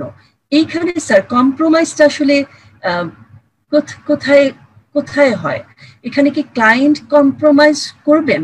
তাহলে উনি যেই বাড়িটায় থাকবেন সরি স্যার আমি এটা আমার খুব এটা আপনার কাছ থেকে জানার খুব ইচ্ছা বিকজ আমরা প্রফেশনাল লাইফে মাঝে মাঝে এটা নিয়ে আমি আমরা খুব বিপদে পড়ে যাই। যে ক্লায়েন্টকে আমি একটা দিলাম আমার স্বপ্নটা কিন্তু ক্লায়েন্টের স্বপ্ন ডিফারেন্ট উনি কি ওই বাড়িটাতে থাকতে বা ওই জায়গায় থাকতে? আমি আলো ছায়া পড়ছে দেখছি কিংবা আমি মনে হয় বোঝাতে পেরেছি স্যার। কোনটা আমি খুব ভালো করে বুঝেছি। বেশি ভ্যালিড কোনটা স্যার আমি দুটো জিনিস বলি। একটা হচ্ছে একজনের ব্যক্তিগত বসত বাটি ডিজাইন করা যদি হয় আমি খুবই সারপ্রাইজিংলি তুমি শুনলেও খুব সারপ্রাইজ হবে সবাই শুনলে সারপ্রাইজ হবে। আমার বত্রিশ, তেত্রিশ বছরের ক্যারিয়ারে আমি একটিও ওয়ান ইউনিট রেসিডেন্স ডিজাইন করিনি। হ্যাঁ কেন করিনি?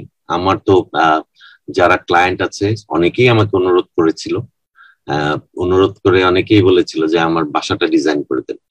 আমি জানি যে তাদের যে esteem versus their culture versus their money এটা ফ্ল্যাকচুয়েট করে। দুই, তিন বছরের মধ্যে অনেক ফ্ল্যাকচুয়েট করে। Use to travel a lot বাইরে চলে যায়। দেখে এসে ওইটা কোনো সময় রোকোকো পছন্দ হয়, কোনো সময় বারক পছন্দ হয়। আবার কোনো সময় কাজের বুয়াকে জিজ্ঞেস করবে যে তোমার রান্নাঘর ঠিক আছে নাকি দেখে দাও? বা ড্রাইভারকে জিজ্ঞেস করবে তোমার গাড়ি এখানে ঘুরবে তো? তোমার গাড়ি তো অনেক বড় গাড়ি। আমি কাউকে মানে ছোট করে বলছি না। দিস আর দ্য রিয়েলিটি তোমার গাড়ি তো অনেক বড় গাড়ি। তোমার গাড়ি এখানে ঘুরবে কিনা? দেখো তোমার গাড়ি এই গ্যারেজে আটবে কিনা। তো এইরকম যখন সিচুয়েশন হয়, সেরকম একটা সিচুয়েশন অ্যাভয়েড করার জন্য আমি ব্যক্তিগত ব্যক্তিগতভাবে এটাকে বলে rich people's one unit residence মানে ডোমাস আমি ডিজাইন করিনি। আমার আমার ক্রেডেন্সিয়ালে একটিও নাই। আমি মাল্টি ফ্যামিলি রেসিডেন্স ডিজাইন করেছি, কিন্তু এটা করি নাই। এই জায়গাতে দ্বন্দ্ব হওয়ার সম্ভাবনা অসম্ভব বেশি। এবং যখন একটি বড় লোকের বাড়ির ডিজাইন করা হয়, আমরা যদি যার বাড়ি বড় লোকের ওয়ান ইউনিট রেসিডেন্স মানে বড় লোকের বাড়ি সেইভাবে আমি যদি আখ্যায়িত করি, তাহলে ধরেই নিতে হবে যে আমার স্থপতি হিসাবে একটা বিরাট সুযোগ তৈরি হচ্ছে আমার ক্যারিশমা দেখা কিন্তু দেখা যাচ্ছে সেই ক্যারিশমা তো উনি খাচ্ছেন না। একটা জিনিস বুঝতে হবে যে আমাদের যে সাম্প্রতিক ধর্নাঢ্য যে গোষ্ঠী যারা হয়েছেন স্বাধীনতা পরবর্তীতে তারা গ্রাম অঞ্চল থেকে এসছেন অনেকে বেশিরভাগ। তারা জমিনদার বাড়ি দেখেছেন, নিজেরা জমিনদার বাড়িতে থাকেন, কিন্তু জমিনদার বাড়ি দেখেছেন। তাদের এই আশির দশক পর্যন্ত সেটা কিন্তু একটা ভীষণ ভাবে প্রভাব খাটিয়েছিল যে আমার একটা জমিদার বাড়ি থাকতে হবে, জমিদার বাড়ির মতন আদল হতে হবে, ভিক্টোরিয়ান অমুক থাকতে হবে, একেবারে ভিক্টোরিয়ান স্টাইলের বাড়ি এবং আমার গ্রামের লোকরা এসে সেটা দেখে ভয় পাবে। সেরকম একটা আচরণ ছিল, সেটা কমেছে এখন। কিন্তু তারপরেও কিন্তু আছে। একজনের জন্য আমি একটা যখন টেইলার মেড জিনিস করছি, এটা কিন্তু অবশ্যই বুঝতে হবে যে টেইলার মেড মানে দ্য কমফোর্ট মানে বিলংস টু দ্য ওনার সেইখানে আর্কিটেক্টকে অনেক কম্প্রোমাইজ করতে হয়। আমরা এমন কিছু করে দিয়ে আসছি, অনেক সময় এরকম আমরা শুনি যে এমন কিছু করে দিয়ে আসছি, সেটাতে উনি থাকতে পারেন না। উনি ওনার মতন করে চান। উনি যদি এখন স্যাটিনের কুইল চায়, আমাকে তো সেটা করে দিতে হবে। And for sure that is the most comfortable one কোর্টের বাইরের দিকে আমি সবসময় বলি, কোর্টের যখন আমরা কোর্টটা পড়ি, কোর্টের বাইরের দিক যতই রাগেড হোক, যত টুইট হোক, যাই হোক, ভিতরে গিয়ে কিন্তু স্যাটিনের একটা খুবই কমফোর্টেবল একটা লেয়ারিং থাকতে হয়। সেই জায়গাটাতে এই দ্বন্দ্বটা হয়। আমি এটা অ্যাভয়েড করতে চেয়েছি, কারণ হচ্ছে আমি ওইসব ক্লায়েন্টের অন্যান্য কাজও করি। দেখা যাবে এই বাড়ি করতে গিয়ে আমার চার বছরও নষ্ট, সাথে সাথে সম্পর্কও নষ্ট, অন্য প্রজেক্টও গেল। তো সেই জন্য খুব টেকনিক্যালি এটা অ্যাভয়েড করেছি। মেবি মাস্টারপিস আর্কিটেক্ট আর্কিটেকচার করতে পারিনি সে কারণে। কিন্তু আমি মনে করি যে বড় লোকের কোনো বাড়ি মাস্টারপিস আর্কিটেকচার হইতে পারে না in the context of Bangladesh যে দেশে দারিদ্র সীমার অবস্থান যেই, সেখান থেকে একদম তার সঙ্গে অ্যাবসুলুট ডিসপ্যারিটি দিয়ে একটা জিনিস তৈরি করলাম। যেখানে মার্বেলের স্কোয়ার ফিট হবে, ষোলোশো টাকা, অমুক বাথটাবটার দাম হবে, পনেরো লক্ষ টাকা। সেই রকম বাড়ি আমি ওই যে ছাত্র ইউনিয়ন করেছি বলে হয়তো ভিতরে ভিতরে ওটা আছে। ওটা আমি নিতে পারিনি। আমার কাছে মনে হচ্ছে these are redundant to towards life কোনো দরকার নেই। আমার পাঁচ লক্ষ টাকা দামের ডাব্লিউসি আমি চাই না। It doesn't make any sense to me এবং পাঁচজন, ছয়জন মানুষের জন্য আমি আমার এফোর্টটা দিতে চাই না। সেই সব কারণে আমি একেবারে ডেলিভারিটলি আমি বড়লোকদের বাড়ি করিনি। এক নম্বর সম্পর্ক নষ্ট করতে চাইনি। দুই নম্বর হচ্ছে এখানে যেটা করা হয়, সেটা আমি মন থেকে মেনে নিতে পারি না। স্যার এটা মনে হয় এত ওপেনলি আপনার পক্ষে বলা সম্ভব। এটা তো বলতে হবে কি অথবা তোমাকে সাইড হয়ে যেতে হবে। জি স্যার সাইড করে স্যার ভালো করে ভালো করে ভাবতে হয় মাঝে মাঝে ভাবতে হয় যে আসলে আমরা কাদের জন্য কাজ করি? কাজটা করি আর্কিটেক্টরা কি আর্কিটেকচার ফর অল হলো কিনা? হলো না তো। End of the day architecture for all হলো তাহলে কি হলো? যেখানে ফুটপাতে লোকজন ঘুমায় সেখানে বৃষ্টির মধ্যে ফুটপাতে ঘুমায়, সব জায়গায় ঘুমায়। সেখানে এই যে এই যে গ্যাপ, এইটা ইলিমিনেট করার কেন হলো না? সেটা মনে হয়, অপরাধী মনে হয় মাঝে মাঝে। নিজেকেই অপরাধী মনে হয়। বড় লোকদের জন্য কাজ করছি শুধু। একটা থিন ক্রাস্ট নিয়ে আমরা কাজ করি আর্কিটেক্টরা সবার জন্য কাজ করতে পারি না। দিস ইজ মানে এটা একটা ক্ষোভ, খেদ নিয়েই মানে জীবনের এই পর্যায়টা হয়তো শেষ করতে হবে। হয়তো একদিন আসবে যখন মানে সবার জন্য স্থাপত্য হবে। স্যার স্থাপত্য তো মনে হয় বড়লোকদেরই মানে কাণ্ড কারখানা ছিল একটা সময় থেকে স্যার। এখনও তাই আছে কখন ছিল না? সেটাই বলছি যে মানে সেই সেই সময় থেকেই এই যে প্যালেস বলে না যাই হোক এই যে এখন তো তাহলে বুঝতে হবে যে সোসাইটির কথা যখন বলি এটা নিয়ে বড়াই করার কিছু নাই খুব একটা। সত্যি। বড়াই করার কিছু নেই। আমি করতে করতে চাই না। আমরা যেটা বানাতে চাই সাধারণ মানুষ সবাই যাতে ব্যবহার করতে পারে। কিন্তু কত দুঃখের বিষয় যে বাড়িটা যে বানাচ্ছে তার শ্রম দিয়ে ঘাম দিয়ে সেই পরে ওটা তার ঢুকতে পারে না। অনেক সময় আমি আর্কিটেক্ট হিসেবে ঢুকতে পারি না। মানে বিং দ্য ডিজাইনার পরিচয় দিলে লাভ কি? সিকিউরিটি গার্ড বলে আর্কিটেকচার মানে আপনি আর্কিটেকচার আর্কিটেকচার কি? মানে আমাদেরকে অনেকে আর্কিটেকচার বলে আর্কিটেক্ট না বলে। তো অনেক কিছু তখন অনেকে লাগাইতে হয় আর্কিটেক্ট ইঞ্জিনিয়ার আমি অমুক তমুক বলে ইঞ্জিনিয়ার বললে চিনে। তো সেই সব জায়গায় এখনও কিন্তু সমাজে সেই অবস্থান হয়নি যা আর্কিটেকচারটাকে সেলিব্রেট করার মতন বিষয়টা আসেনি। সেলিব্রেট তখনই হবে যখন আমরা সবার জন্য কাজ করতে পারব। At least majority of the পপুলেশনের জন্য আমরা কাজ করতে পারব। সব জায়গায় কাজ করতে পারব, খালি ঢাকা মানে শহর কেন্দ্রিক না, শহরের বাইরে গিয়েও কাজ করতে পারব। এটা যখন হবে, তখনই আর্কিটেকচারকে সেলিব্রেশনের পর্যায়ে নিয়ে যাওয়া, নেওয়া যেতে পারে আর কি। স্যার অল্প কিছু কাজ হচ্ছে দেশের এদিক ওদিক আনাচে কানাচে অল্প স্বল্প যেটা আমাদের কৃষ্টি কালচারকে ওইটা ওইটা নিয়েও আমার আমার আমার কনসেপ্ট আমার আমার অনেক স্ট্রং অবজারভেশন আছে সেটা আর আমি এত প্রকাশ্যে বলতে চাই না। হ্যাঁ যেগুলো হচ্ছে এগুলো হচ্ছে for the sake of getting awards হ্যাঁ ওগুলা সাস্টেনেবল না সত্যিকার অর্থে।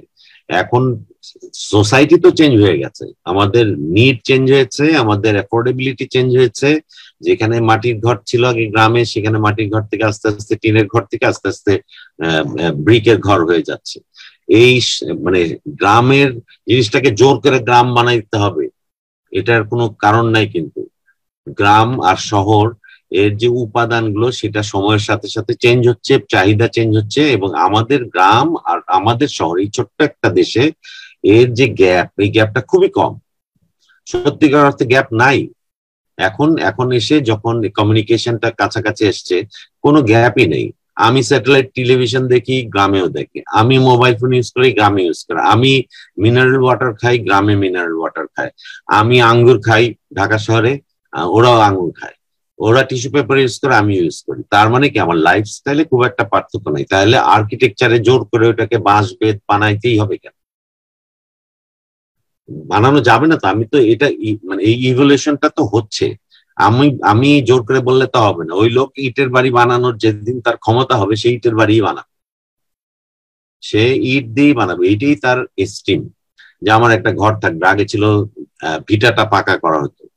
বড়লোকদের ভিটা পাকারও আরেকটা সিস্টেম ছিল। সেটা জানো? সেটা হচ্ছে শুধু পেরি পেরিটা ব্রিক দিয়ে হতো ভিতরটা মাটি থাকতো। মাটি ডাম্প করে তারপর মাটি ডাম্প করে কিন্তু পেরিফেরিটা ব্রিকের এটা হচ্ছে বড় লোকের বাড়ি টিনের টিনের ওয়াল তো এইখান থেকে আস্তে আস্তে চেঞ্জ হতে হতে এখন বিল্ডিং তো হচ্ছে কিছু করার নাই তো। আমরা we can force them to be in the thatch house we can force them to be in the mud house থাকবে না। বললে লাভ নেই। ওইটা এখন ওইটা এখন উল্টা ফ্যাশন হবে বুঝছ? এখন ফ্যাশন হবে। স্যার এইটা খুব মানে আমি মানে আমি খুব মানে সহমত পোষণ করছি আপনার সাথে। বিকজ স্যার আর্কিটেক্ট এক অর্থে কিন্তু আসলে তার ভাবনাগুলি একজন অ্যান্থ্রোপোলজিস্টের মতোই হওয়া উচিত। এই যে চেঞ্জটা হচ্ছে হিস্ট্রিতে তো মনে হয় স্যার এরকম চেঞ্জ আর বহু বহু শতাব্দীতে হয়নি। কোনো মানুষ তো স্যার চায় না যে আসলে কারও যদি আমি কেউ ছনের বাড়ি করতে চাইবে না সবাই চাইবে যে কেন চাইবে? স্টেবল হ্যাঁ। গ্রামেও গ্রামেও যার ছনের ঘর মাটির ঘর সে socially placed in a different strata যার পাটখড়ির ঘর ছাদেও পাটখড়ি সে তার অর্থনৈতিক অবস্থা। এই বাড়ির যে অবস্থানগুলো তৈরি হয়েছিল সেগুলো কিন্তু অর্থনৈতিক। গোলপাতার ঘর এমনি শখে বানায়নি they were bound to do this এখন সে যদি তার অল্টারনেট একটা থিন দুই মিলিমিটার থিকনেসের একটা জিনিস দিয়ে ওয়েদার প্রোটেকশন করতে পারে টিনের কথা বলছি তাহলে সে কেন ওইটাতে যাবে? Which one is more sustainable এটা তো বলে লাভ নেই এটা করছি আমরা এটা ইটস মোর সর্ট অফ একটা এক্সপেরিমেন্টেশন যদি বলি আমি okay I am okay with this but not মনে আছে আগা খান অ্যাওয়ার্ড পেয়েছিল এই টিনের ঘর কিন্তু এটাকে একটা ইম্প্রোভাইজেশন করা হয়েছিল যে খুঁটিগুলা ইয়ের কংক্রিটের তো সেইটা কিন্তু ঠিক আছে হ্যাঁ? সেই সেই ধরনের ইম্প্রোভাইজেশন হচ্ছে। বাট বাংলাদেশে অনেক ক্ষেত্রে এই বাঁশ দিয়ে যেসব স্ট্রাকচার তৈরি করা হচ্ছে যেই ধরনের ডিটেইলিং করা হচ্ছে যেই মরফোলজিতে যাওয়া হচ্ছে এটা বাংলাদেশে কখনোই ছিল না। কোনো কেউ দেখাতে পারবে না যে এরকম কেচি দেওয়া এসে বাংলাদেশের আর্কিটেকচারকে বিদেশিরা এসে মোল্ড করছে। আমরা জানি, আমরা যে আর্কিটেকচার করছি তার যাত্রা শুরু হচ্ছে একেবারেই ষাটের দশক, সত্তরের দশক বা এই শতাব্দীর থেকে। কিন্তু এখন যে একটা বাইরের থেকে এসে এই যে বাঁশ দিয়ে বিভিন্ন ফর্মগুলো যেগুলো তৈরি করা হচ্ছে, এগুলা আর দোজ ফ্রম আওয়ার সয়েল না। না কিন্তু। এটা জোর করে বললে কেউ লাভ হবে না। এই জন্য এগুলা হচ্ছে কি, এগুলা পড়ছে এগুলা আবার অ্যাওয়ার্ডও পাচ্ছে। ঠিক আছে I don't mind but society will not accept those things for in a mass scale production নিবে না। একটা দুইটা থাকতে পারে, অবশ্যই। এরাও চর্চা করবে, কিন্তু আরও একটু সাস্টেনেবল এই যে একটু কথা বলছিলাম, এই যে আশ্রয়ন প্রকল্প হলো যেটা, এইখানে কারও ইন্টারভেনশন নাই, কোনো আর্কিটেক্টের কোনো ইন্টারভেনশন নাই। কেন ওই বাড়িটা ব্রিকের হতে হবে? কেন ওই বাড়িটা লাইট ওয়েট হলো না?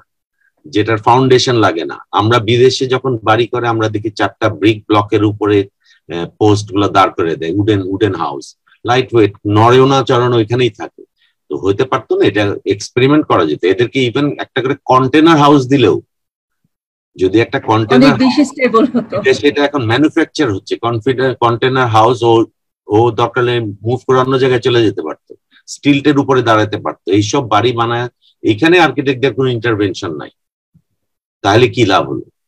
আর্কিটেক্টরাই তো বের করবে যে which is the most sustainable affordable ওরা মেনটেন করতে পারবে সেরকম একটা স্ট্রাকচার এরকম একটা আশ্রয়ন প্রকল্পের জন্য আমাদের this is the two three modules এইটা হিলি এরিয়াতে এটা ফ্লাড প্রোন এরিয়াতে এটা অমুক জায়গায় তিনটা, চারটা মডিউল করে নিতে পারতো। এখানে কিন্তু আর্কিটেক্টের কোনো ভূমিকা নাই। তখন বলতাম যে আর্কিটেকচার ফর অল হচ্ছে। এই জায়গাটাতে মিসিং হলো। কিন্তু এই একটা বড় স্কোপ ছিল যে এখানে আর্কিটেক্টরা মিলেমিশে একটু রিসার্চ ওরিয়েন্টেড কাজ করতে পারতো যে কি বানালে ওরা এটাকে একটা ওদের জন্য সাস্টেনেবল একটা ভেঞ্চার হবে। না হয়ে এই যে ইট দিয়ে ফাউন্ডেশন ছাড়া ভেঙে চুরে কি অবস্থা, এটা আজকে যেগুলো ভেঙেছে ভেঙেছে, কোনোটাই থাকবে না end of the day sir এই যে এই যে অ্যালায়েন্সটা এই যে রিসার্চের ব্যাপারটা যে গভর্নমেন্ট এখনও এই লেভেলে এগিয়ে আসছে না কিন্তু আমরা নিজেরাই কি এই প্র্যাকটিস মানে এই চেষ্টা করতে পারি কিনা? আপনি যেটা বললেন যে মিলেমিশে একটা মানে এই যে আমাদের ইনস্টিটিউট অফ আর্কিটেক্টস আমরাই তো স্যার ইনস্টিটিউট সরকারের তো হাউস বিল্ডিং রিসার্চ ইনস্টিটিউট আছে। ইনস্টিটিউট আছে স্যার জি সেখানে আর্কিটেক্ট আছে তারা কি করেছে? তাদের ইনপুট কোথায়? এই যে বিল্ডিংগুলো হলো এরকম ভাবে বানানো হলো তাদের ইনপুট কোথায়? নেওয়া হচ্ছে না স্যার না না এটা হচ্ছে কি এসব ক্ষেত্রে তো সরকারি যন্ত্র কিন্তু খুবই সিস্টেমেটিক্যালি চলে হ্যাঁ? They are clutch to each other somehow হয়তো সেরকম কিছু দিতে পারে নাই হয়তো নিট ছিল কিন্তু সেই জিনিসটা তো থাকতে হবে। এইটা না থাকলে এই যে এরকম আমি এই জন্যই বলছি যে আমরা যেতে পারতাম অনেক জায়গায়। সোসাইটির এই যে পেনিট্রেট করা লোয়ার লেভেলটাতে চলে যাওয়া গ্রাসরুট লেভেলে সেটা কিন্তু আমরা পারছি না। এখনও আমরা দিতে পারছি না কাউকে যে আচ্ছা which would be the best solution এখনকার যে ঘর বাড়ি সবাই যে একেবারে ঢাকা শহরের বাড়ি ওখানে বানায় ফেলছে, এরকম না করে লাইট ওয়েট কি করা যেতে পারে? এই ধরনের কোনো রিসার্চ আসলে হয়নি। রিসার্চ করার জন্য বাংলাদেশে এত বড় একটা প্রতিষ্ঠান হাউস বিল্ডিং রিসার্চ ইনস্টিটিউট আছে। কিন্তু তাদের কর্মকাণ্ড দেখে কোনো কিছু মনে হয় না যে কোনো রিসার্চ হচ্ছে বা তার কোনো ইমপ্লিকেশন সমাজে আছে। স্যার এই যে আমরা একটু অন্যদিকে চলে যাই স্যার এই যে অর্থনৈতিক উন্নতি সো কল স্যার অর্থনৈতিক উন্নতির সাথে স্যার দুইটা জিনিস আসে অনেক সময়। নৈতিক অবক্ষয় কালচারাল অবক্ষয়। আপনি কি স্যার এটা মানেন? এটা তো মানি না, আমি সবসময় বলি। আমি অনেক আগেই যখন মনে আছে যে আমাদের এয়ারপোর্ট রোডে কাজী নজরুল ইসলাম রোডে বনানী ক্রসিং এর পর থেকে যখন বনসাই লাগানো হলো হ্যাঁ তখন আমি একটা মানে কোটেশন দিয়েছিলাম যে, অর্থনৈতিক উন্নয়ন মানেই হচ্ছে রুচির অবক্ষয়।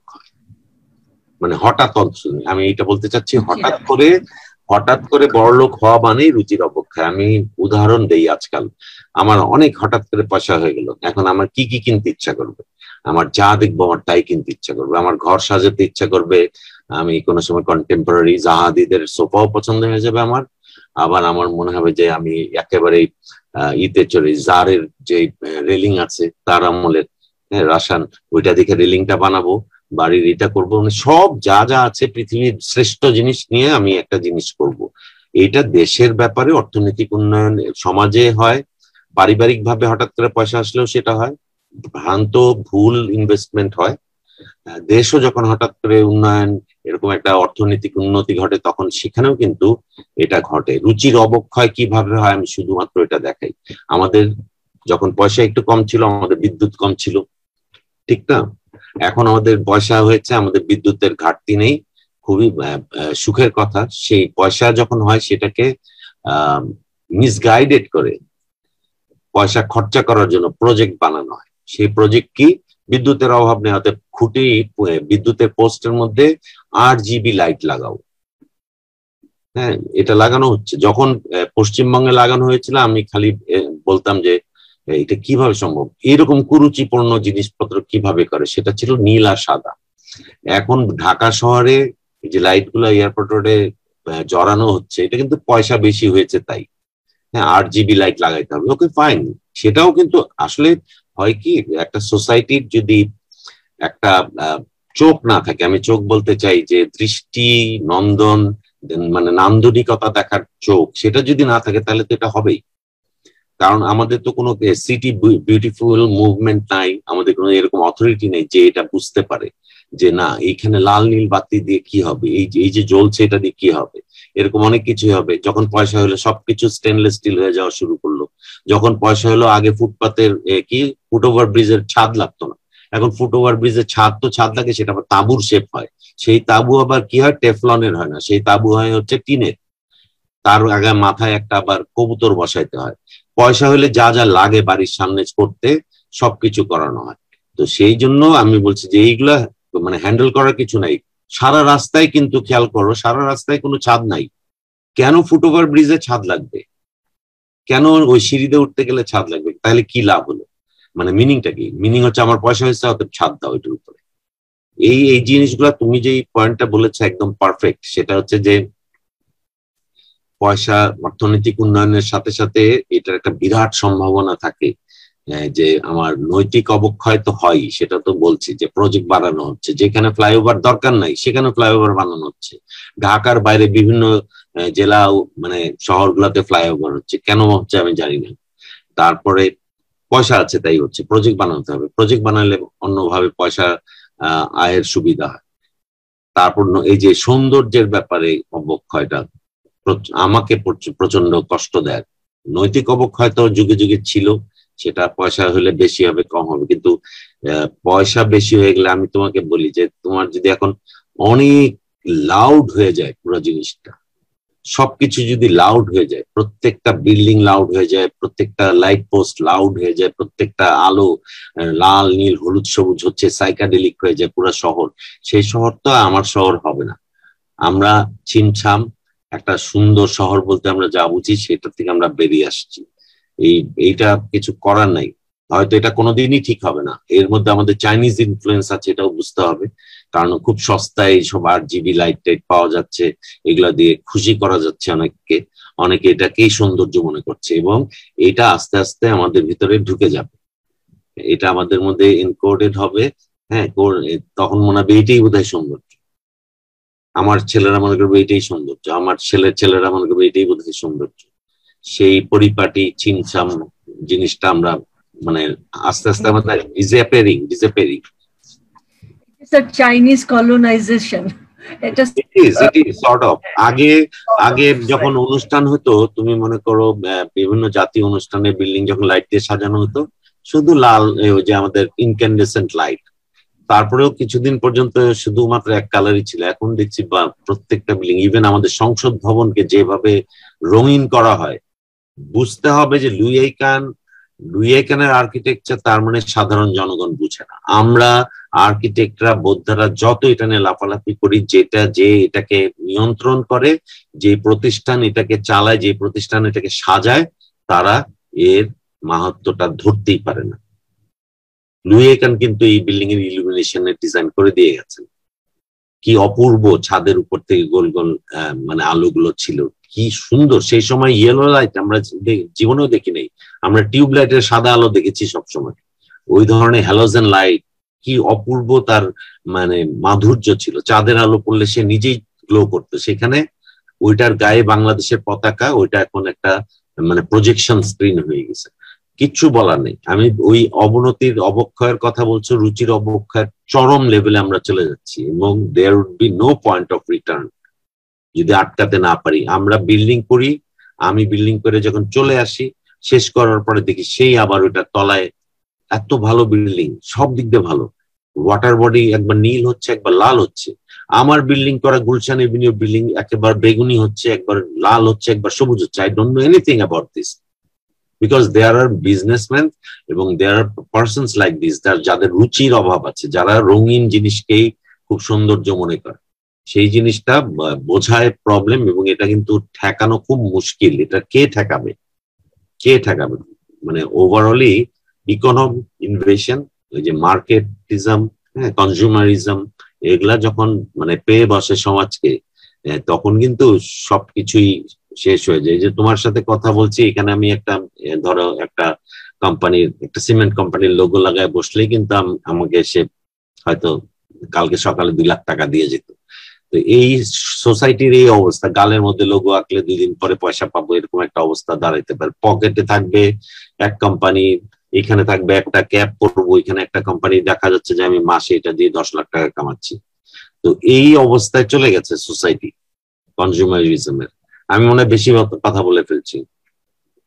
খুব মানে তুমি খুব সেন্সিটিভ জায়গায় মানে টাচ করেছ তো যে এই যে রুচির অবক্ষয় রুচির অবক্ষয়ের একটা চরম অবস্থা। স্যার রুচি কি তৈরি করা যায় এই লেভেলে এসে? নাকি এটা সামাজিক যে সময়ের বিবর্তনে যেদিকে যায় নাকি কি করা এটা সামাজিক বিবর্তন না তো শুধু এটার মধ্যে তো ল্যাটারাল ইনফ্লুয়েন্স আছে।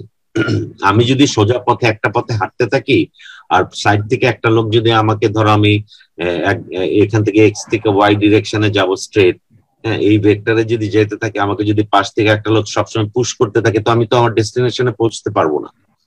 দেখা যাবে যাওয়ার কথা ছিল মহাকালী পৌঁছে গেছি হচ্ছে আরেক জায়গায়। তো এই জন্য বলছি যে এটা তো, এটা কন্ট্রোল করতে হবে। এটা কন্ট্রোলিং একটা এজেন্সি থাকতে হবে। হ্যাঁ অনেক দেশেই আছে যে একটা ফ্যাসাদ কি ডিজাইন করবা, সেটা অ্যাপ্রুভাল নিতে হয়। কি ধরনের ফ্যাসাদ হবে। আমাদের তো সেই কন্ট্রোলিং এজেন্সি নাই।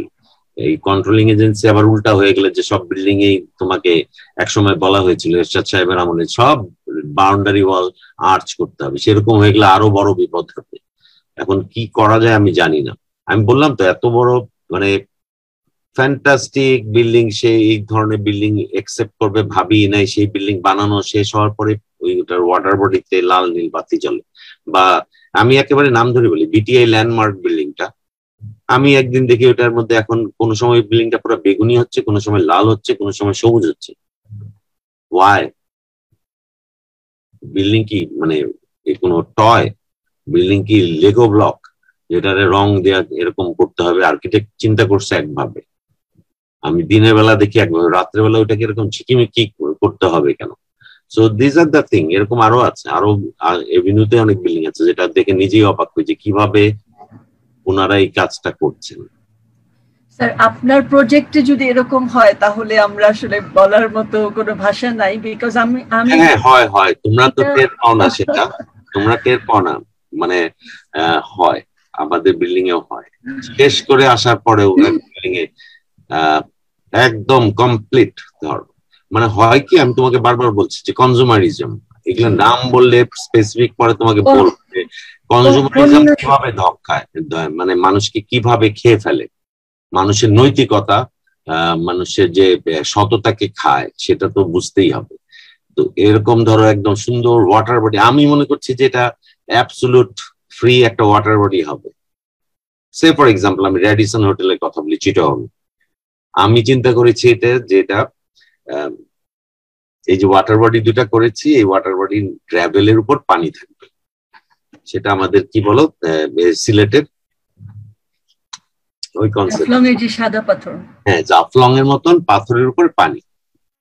Somehow right at that moment the chief of that মানে অর্গানাইজেশন গিয়ে বলল ওপেনিং এর আগে বলে হোয়াট ইজ দিস রাবিশ বলে সঙ্গে সঙ্গে তার তো যারা ছিল এক্ষুনি ঠিক করে দিচ্ছি স্যার পুরা পাথর ফেলে দিয়ে ওটার মধ্যে পাথর প্রিন্টেড টাইলস লাগানো হলো। What to say what to do কিছু করার নাই। কিছু করার নেই। এবং আমি মনে মনে চিন্তা করলাম যে হয়তো চলে গেলে পরে পাথর বিছাই দেবো। শুনো, এখন গিয়ে লেটেস্ট যে ছবি দেখেছি সেটাতে দেখি ওটাতে মাটি ভরাট করে দিয়েছে। ওয়াটার বডি মাটি ভরাট করে দিয়েছে। আর আরেকটা আছে ভিতরে কোর্টিয়ার সেখানে ওয়াটার বডি ছিল, উপর থেকে পানি পড়বে ইয়ের মতো হিমছড়ি পোর্ট নাম ওইটার তো ওইটা নৌকাও আছে, পানির মধ্যে নৌকাটা থাকবে। এখন নৌকাটা আছে ওই যে স্পটেড মল্টেড ইয়ের উপরে মটেল টাইলস এর উপরে একটা নৌকা, শুকনা নৌকা। তো এই তো হচ্ছে, এটা তো তোমরা বলছো, এটা এটা পারা যায় না। ফেয়ার ফেস কংক্রিট করে এসছি দে হ্যাভ পেইন্টেড ইট এটা তো খুব কমন ঘটনা স্যার খুবই কমন ঘটনা। টেরাকোটা টাইলস করে আসছি, যেটা করা হয়েছে ওইটার উপরে পেন্ট করে দিয়েছে। They don't like the difference মানে যে একটু কোনো জায়গায় কালার চেঞ্জেস হচ্ছে, যেটা beauty of fair face concrete যেটা বিউটি অফ মানে টাইলস যে টেরাকোটা টাইলস এর যে চেঞ্জেসগুলো, এগুলা ওরা চায়। রং এরকম এটা আমি একটা প্রজেক্টের এক্সাম্পল দিলাম। এরকম ছোটখাটো অনেক প্রজেক্ট আছে যেটা সাধারণ সবাই বুঝতে পারবে না, কিন্তু আমি তো জানি যে আমাকে কোথায় আঘাত করা হয়েছে। এমনও আছে এই যে ব্যাবিলুনিয়া বিল্ডিংটা it was floating on water completely সেইভাবে কনস্ট্রাকশন হয়েছে। হঠাৎ একদিন গিয়ে দেখি মাটি ভরাট করে এটা ঢালাই করা হয়ে গেছে। এইগুলো তো ঘটছে। আমারই ছিল বিল্ডিংটা যেহেতু একটু শর্ট কম টল এটার একটা রিফ্লেকশন যদি উল্টাটা আসে, খুব সুন্দর লাগবে। একটা কসওয়ের মতন রাস্তা ছিল উপর দিকে করে নাই। তো কি করব? এটা তো, এটা আমার ব্যাপারে ঘটে, তারপরেও বোঝা যায় না। তোমরা টের পারো কিন্তু I can feel the pain এগুলো চোরা চোরা গুপ্তা হামলা হয়। এটা তোমরা সবাই টের পাও না, কিন্তু আমি ঠিকই, আমি আমার প্রজেক্টে টের পাই। ইভেন সাতাশ নাম্বারের মোড়ে একটা বিল্ডিং করেছি সপ্তক স্কোয়ার হঠাৎ করে ছাদের মধ্যে রেলিং লাগা দিল রেলিংটা ছিল, ধরো, একটু ভিতরে থাকবে যাতে বাইরে থেকে রেলিং না দেখা যায়। ওনারা ওইটাও করল করল না, করলোই না এখন। এখনও করেন। And there are architects in those firms যারা ওইখানে বসে বসে এই মালিককে মদত দেওয়ার জন্য, তাদেরকে খুশি করার জন্য, চাকরি রক্ষা করার জন্য মূল আর্কিটেক্টের ডিজাইনের উপর হাত দেয়। আমি তোমাকে আজকে অনেকগুলা কথা বললাম, যেগুলা হয়তো পাবলিকলি বলা উচিত না, কিন্তু এগুলা প্র্যাকটিসে হচ্ছে আমাদের, যেটার কারণে আমি বললাম যে ওই অ্যাস্থেটিক্স এর যে সেন্সটা যে ফিলোসফিটা একজন আর্কিটেক্ট ডিজাইন করার সময় করে সেটা থেকে অনেকখানি বেরিয়ে আসে। আমরা অনেক সময় বলি হ্যাঁ উনি এটা করছে, এত পচা এই জিনিস। আসলে হয়তো উনি করে নাই। হ্যাঁ অমুক আর্কিটেক্ট এটা সে করে নাই। অমুকটার সামনে এটা লাগাই দিল উনি আসলে উনি করে নাই। আর্কিটেক্ট হ্যাজ সাম লিমিটেশন তো এটা তো কিছু করার নেই আমারও আছে সবাই লিমিটেশন আছে। আমরা যা চাই তা তো করতে পারি না সম্পূর্ণভাবে করতে পারি না। স্যার এটা এত বেশি ক্লায়েন্ট বেসড এবং এটা তো এই জন্য আমি এটাকে শিল্প বলতেই রাজি না। শিল্প সেটাই হবে যেটা স্বাধীন। স্বাধীন রাইট হ্যাঁ যেটা স্বাধীন। আমরাই আমি এটাকে মোর টেকনোলজিক্যাল আর্ট যদি বলে it stands on the edge between মানে টেকনোলজি অ্যান্ড আর্ট আসলে আর্টের দিকে পুরোপুরি গায়ের জোরে বললে তো হবে না। আমরা আমাদের সংসদ ভবনের ব্যাপারে সেটা রাখতে পারি নাই।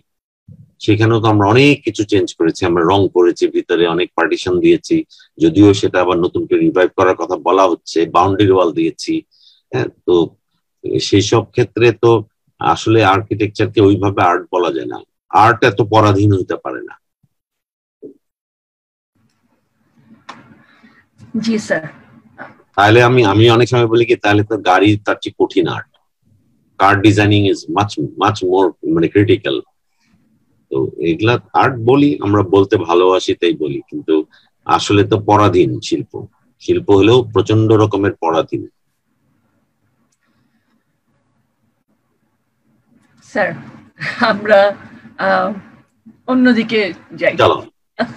স্যার এই যে আর্টিফিশিয়াল ইন্টেলিজেন্স আসছে অন্য অনেক রকম এরকম চেঞ্জ আসছে স্যার। স্যার মানে একটা সময় কি এরকমই হবে যে মুখের কথায় বিল্ডিং হয়ে যাবে? নাকি এইরকম হলে স্যার সবাই যদি আমরা এই দুঃখ নিয়ে থাকি তাহলে তো আর্কিটেকচার কি স্যার আর কি করবে? আমাদের দেশের মতো জায়গায় স্ট্যান্ড করবে স্যার? না তুমি খুব ভালো করে লক্ষ্য করো তো যে ওয়েস্টার্ন ওয়ার্ল্ডে চাইলে কি একজন একটা রেসিডেন্স কোন আর্কিটেক্টকে ডিজাইন করানো যায়? না। ক্যাটালগ দেখে বাইছা দিতে হয় এটাই করব এটাই করতে হবে। আমাদের এখানে সেই সুযোগটা আছে আমরা করছি তবে অত সহজ হবে না কারণ আমরা জাতি হিসাবে প্রত্যেকেই ভেরি ইউনিক প্রত্যেকটা ফ্যামিলি প্রত্যেকটা ফ্যামিলির অনেক মানে এরকমের ইউনিক ক্যারেক্টারিস্টিক্স আছে। আমি মনে করি আমার বাড়িটা আমার মতন করেই হইতে হবে। বানায় দিলেই থাকবে সেটা না কিন্তু। ওই মাগনা বাড়ি পেয়েও কিন্তু তারা অসন্তুষ্ট। ওটা না ভাঙলেও কিন্তু তারা বলতো কি, মাগনা বাড়ির এইটা নাই কেন, ওইটা নাই কেন?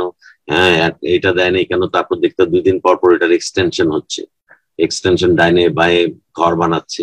তো সেই যে আমাদের এই ইউনিকনেসটা কিন্তু আছে বলে আর্কিটেকচারটা এখানে আছে এবং আমরা প্র্যাকটিস করতে পারছি। সবাই বাড়ি বানাতে চায় এখন প্রত্যন্ত অঞ্চলেও আর্কিটেক্টরা বাড়ি করছে। এটা কিন্তু ভালো।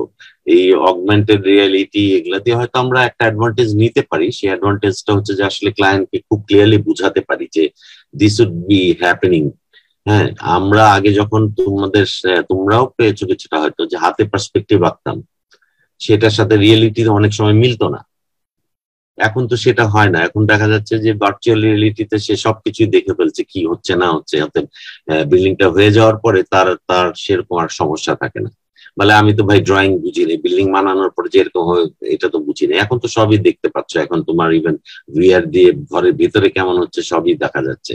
সেইটার অ্যাডভান্টেজ নেওয়া যেতে পারে, কিন্তু বিল্ডিং কথা বললে আমার হয়ে গেল, সেই অবস্থা যখন হবে সেটা অনেক দূরে। ওইটা অনেক দূরে, আমাদের এখানে তো অনেক দূরে অবশ্যই। সেটা হয়তো তুমি চায়না বা যেখানে মাস হাউজিং হয় মাস পিপলের জন্য হাউজিং হয়, সেখানে থাকাটাই বড় বিষয়। সেখানে হয়তো এগুলা হতে পারে। কিন্তু আমাদের এখানে এটা এখনও দেরি আছে, এখনও দেরি আছে।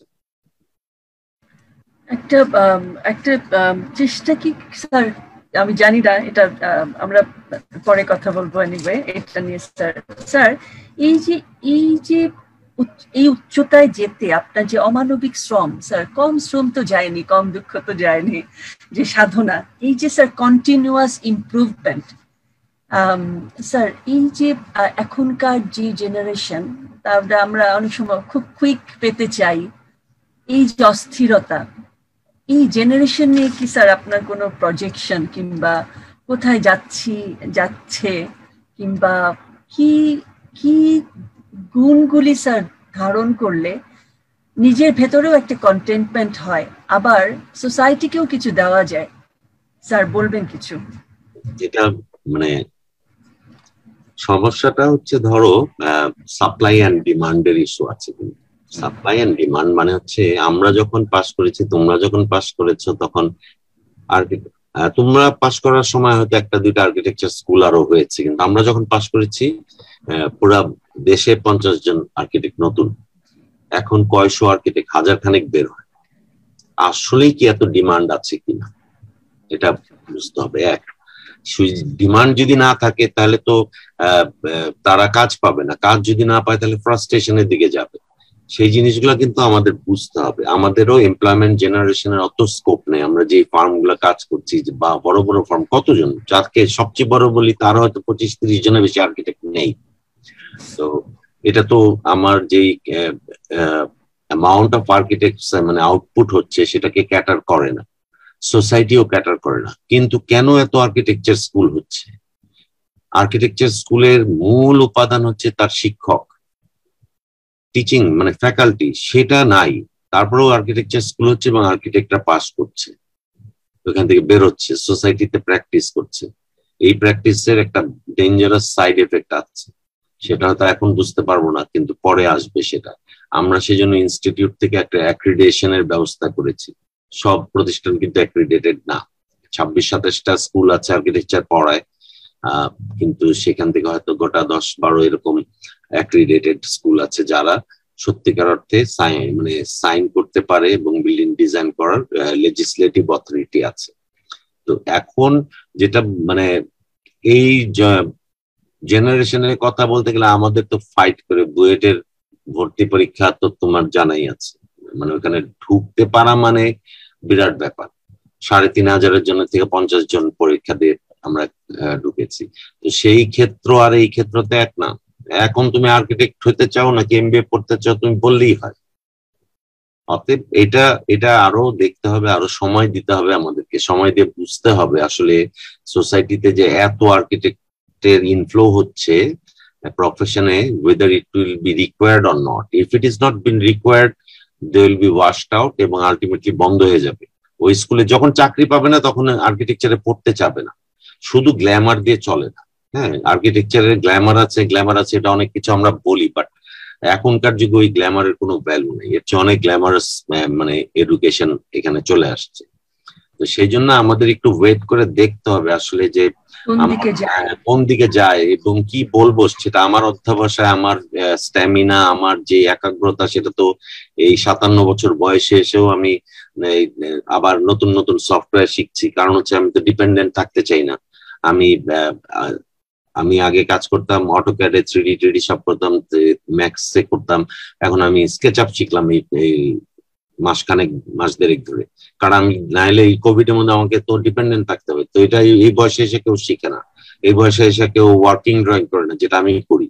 আমি কিন্তু নিজের হাতেই করতে স্বাচ্ছন্দ্য বোধ করি এই কারণে যে আমি কারও প্রতি ডিপেন্ডেন্ট হই না এবং through that I can do some designing মানে থিংস আমি কিছু ইনপুট দিতে পারি। একটা ওয়ার্কিং ড্রয়িং মানে খালি ড্রয়িং না। অটোক্যাডে ওয়ার্কিং ড্রয়িং মানে শুধু ড্রয়িং না, কিন্তু অটোক্যাডে ওয়ার্কিং ড্রয়িং মানে প্রিসিশন আমার, অনেকে আমাকে বলে আমি perfectionist I am not a perfectionist I am precisionist perfectionism perfectionism বলে কিচ্ছু এক্সিস্ট করে না। প্রিসিশন এক্সিস্ট করে। প্রিসিশনের একটা লিমিট পর্যন্ত এক্সিস্ট করে। না হলে সোইউজ আর মিরেজ যে বা ডকিং করে স্পেসে এই প্রিসিশনটা থাকতে হয়। তো আমি প্রিসিশনটার জন্যই আমি মনে করি আমার ওয়ার্কিং রয়ে আমার অনেক সময় ফিউ মিলিমিটার ম্যাটার্স সেটা এখনও হ্যান্ডেল করি। গ্রসলি ছেড়ে দিই না। দিয়ে তারপর আমার যে টিম আছে ব্যাটালিয়ান আছে ওদের হাতে ছাড়ি, তারপর আবার দেখি। কিন্তু এই জিনিসটা তো পাওয়া খুব মুশকিল। এটা এক আমাদের সময়কারও অনেকের মধ্যে এখন আছে কেউ ওটাকে ধরেই না। অনেকে ড্রয়িং ড্রয়িং এর দিকে যাই না। বাট আমি from sketch to final delivery এটা না করলে ধরো সুমি, আমি ইটস লং জার্নি ধরো আটানব্বই সালের থেকে তো তার আগেই, ছিয়ানব্বই সাল থেকেই ধরো ইউটিসি বিল্ডিং ছিয়ানব্বই, আটানব্বই, বসুন্ধরা সিটি আজকে পঁচিশ বছর এর পরের জার্নিতে তো মানে আই নেভার লুক ব্যাক আমাকে মানে এখনও না। আমি যেদিন ছেড়ে দিব, সেদিন বলে ডিক্লেয়ার দিয়ে আর্কিটেক্ট ছেড়ে দিব যে আমি আর করব না। বাট এই সিচুয়েশনে যেতে পারছি না because people are not letting me go there এটা চেষ্টা করছি। এনাফ ইজ এনাফ ছায়রা দিতে চাই আমরা তো স্যার ভয় পাচ্ছিলাম। কোন আর্কিটেকচার ছেড়ে দেন স্যার। না ছেড়ে দিতে চাই বাট যে ছেড়ে দিতে চাইলে তো হচ্ছে না ছাড়া যাচ্ছে না আর কি। না ঠিক আছে থাকুক কতগুলো কমিটমেন্ট তো যেগুলো প্রজেক্ট করছি সেসব কমিটমেন্টগুলো আছে ওগুলা শেষ হইতে যেতে বাট এনাফ এখন আর আর ইচ্ছা করে না। স্যার আপনাকে I enjoy more singing enjoy more মানে প্লেইং ইনস্ট্রুমেন্টস বা ছবি আঁকা এগুলাতে বেটার আনন্দ পাই। দরকার নাই। স্যার অনেকগুলি সিডি বের হলো। হুম সিডি বেরিয়েছে। জি sir. India Bangladesh. Sir Kolkata থেকে কাজ করতে একটু আরাম লাগছে। আমাদের দেশের যে ইন্ডাস্ট্রি দুটা দুটা জিনিস। আমি একটা জিনিস বলি আমরা তো মানে কলকাতার সুবিধাটা হচ্ছে ওই বাংলার সুবিধাটা হচ্ছে music is inherent to the religion যেটা আমাদের মধ্যে নাই। আমাদের মধ্যে শ্যালো হয়ে যাচ্ছে জিনিসটা। তো ওইখানে অনেক কিছু আছে ওইখানে যেমন রেকর্ডিং কোয়ালিটি আমি যদি বলি বাংলাদেশে একজন ইয়ার সারিঙ্গি প্লেয়ার চাই পাবো না।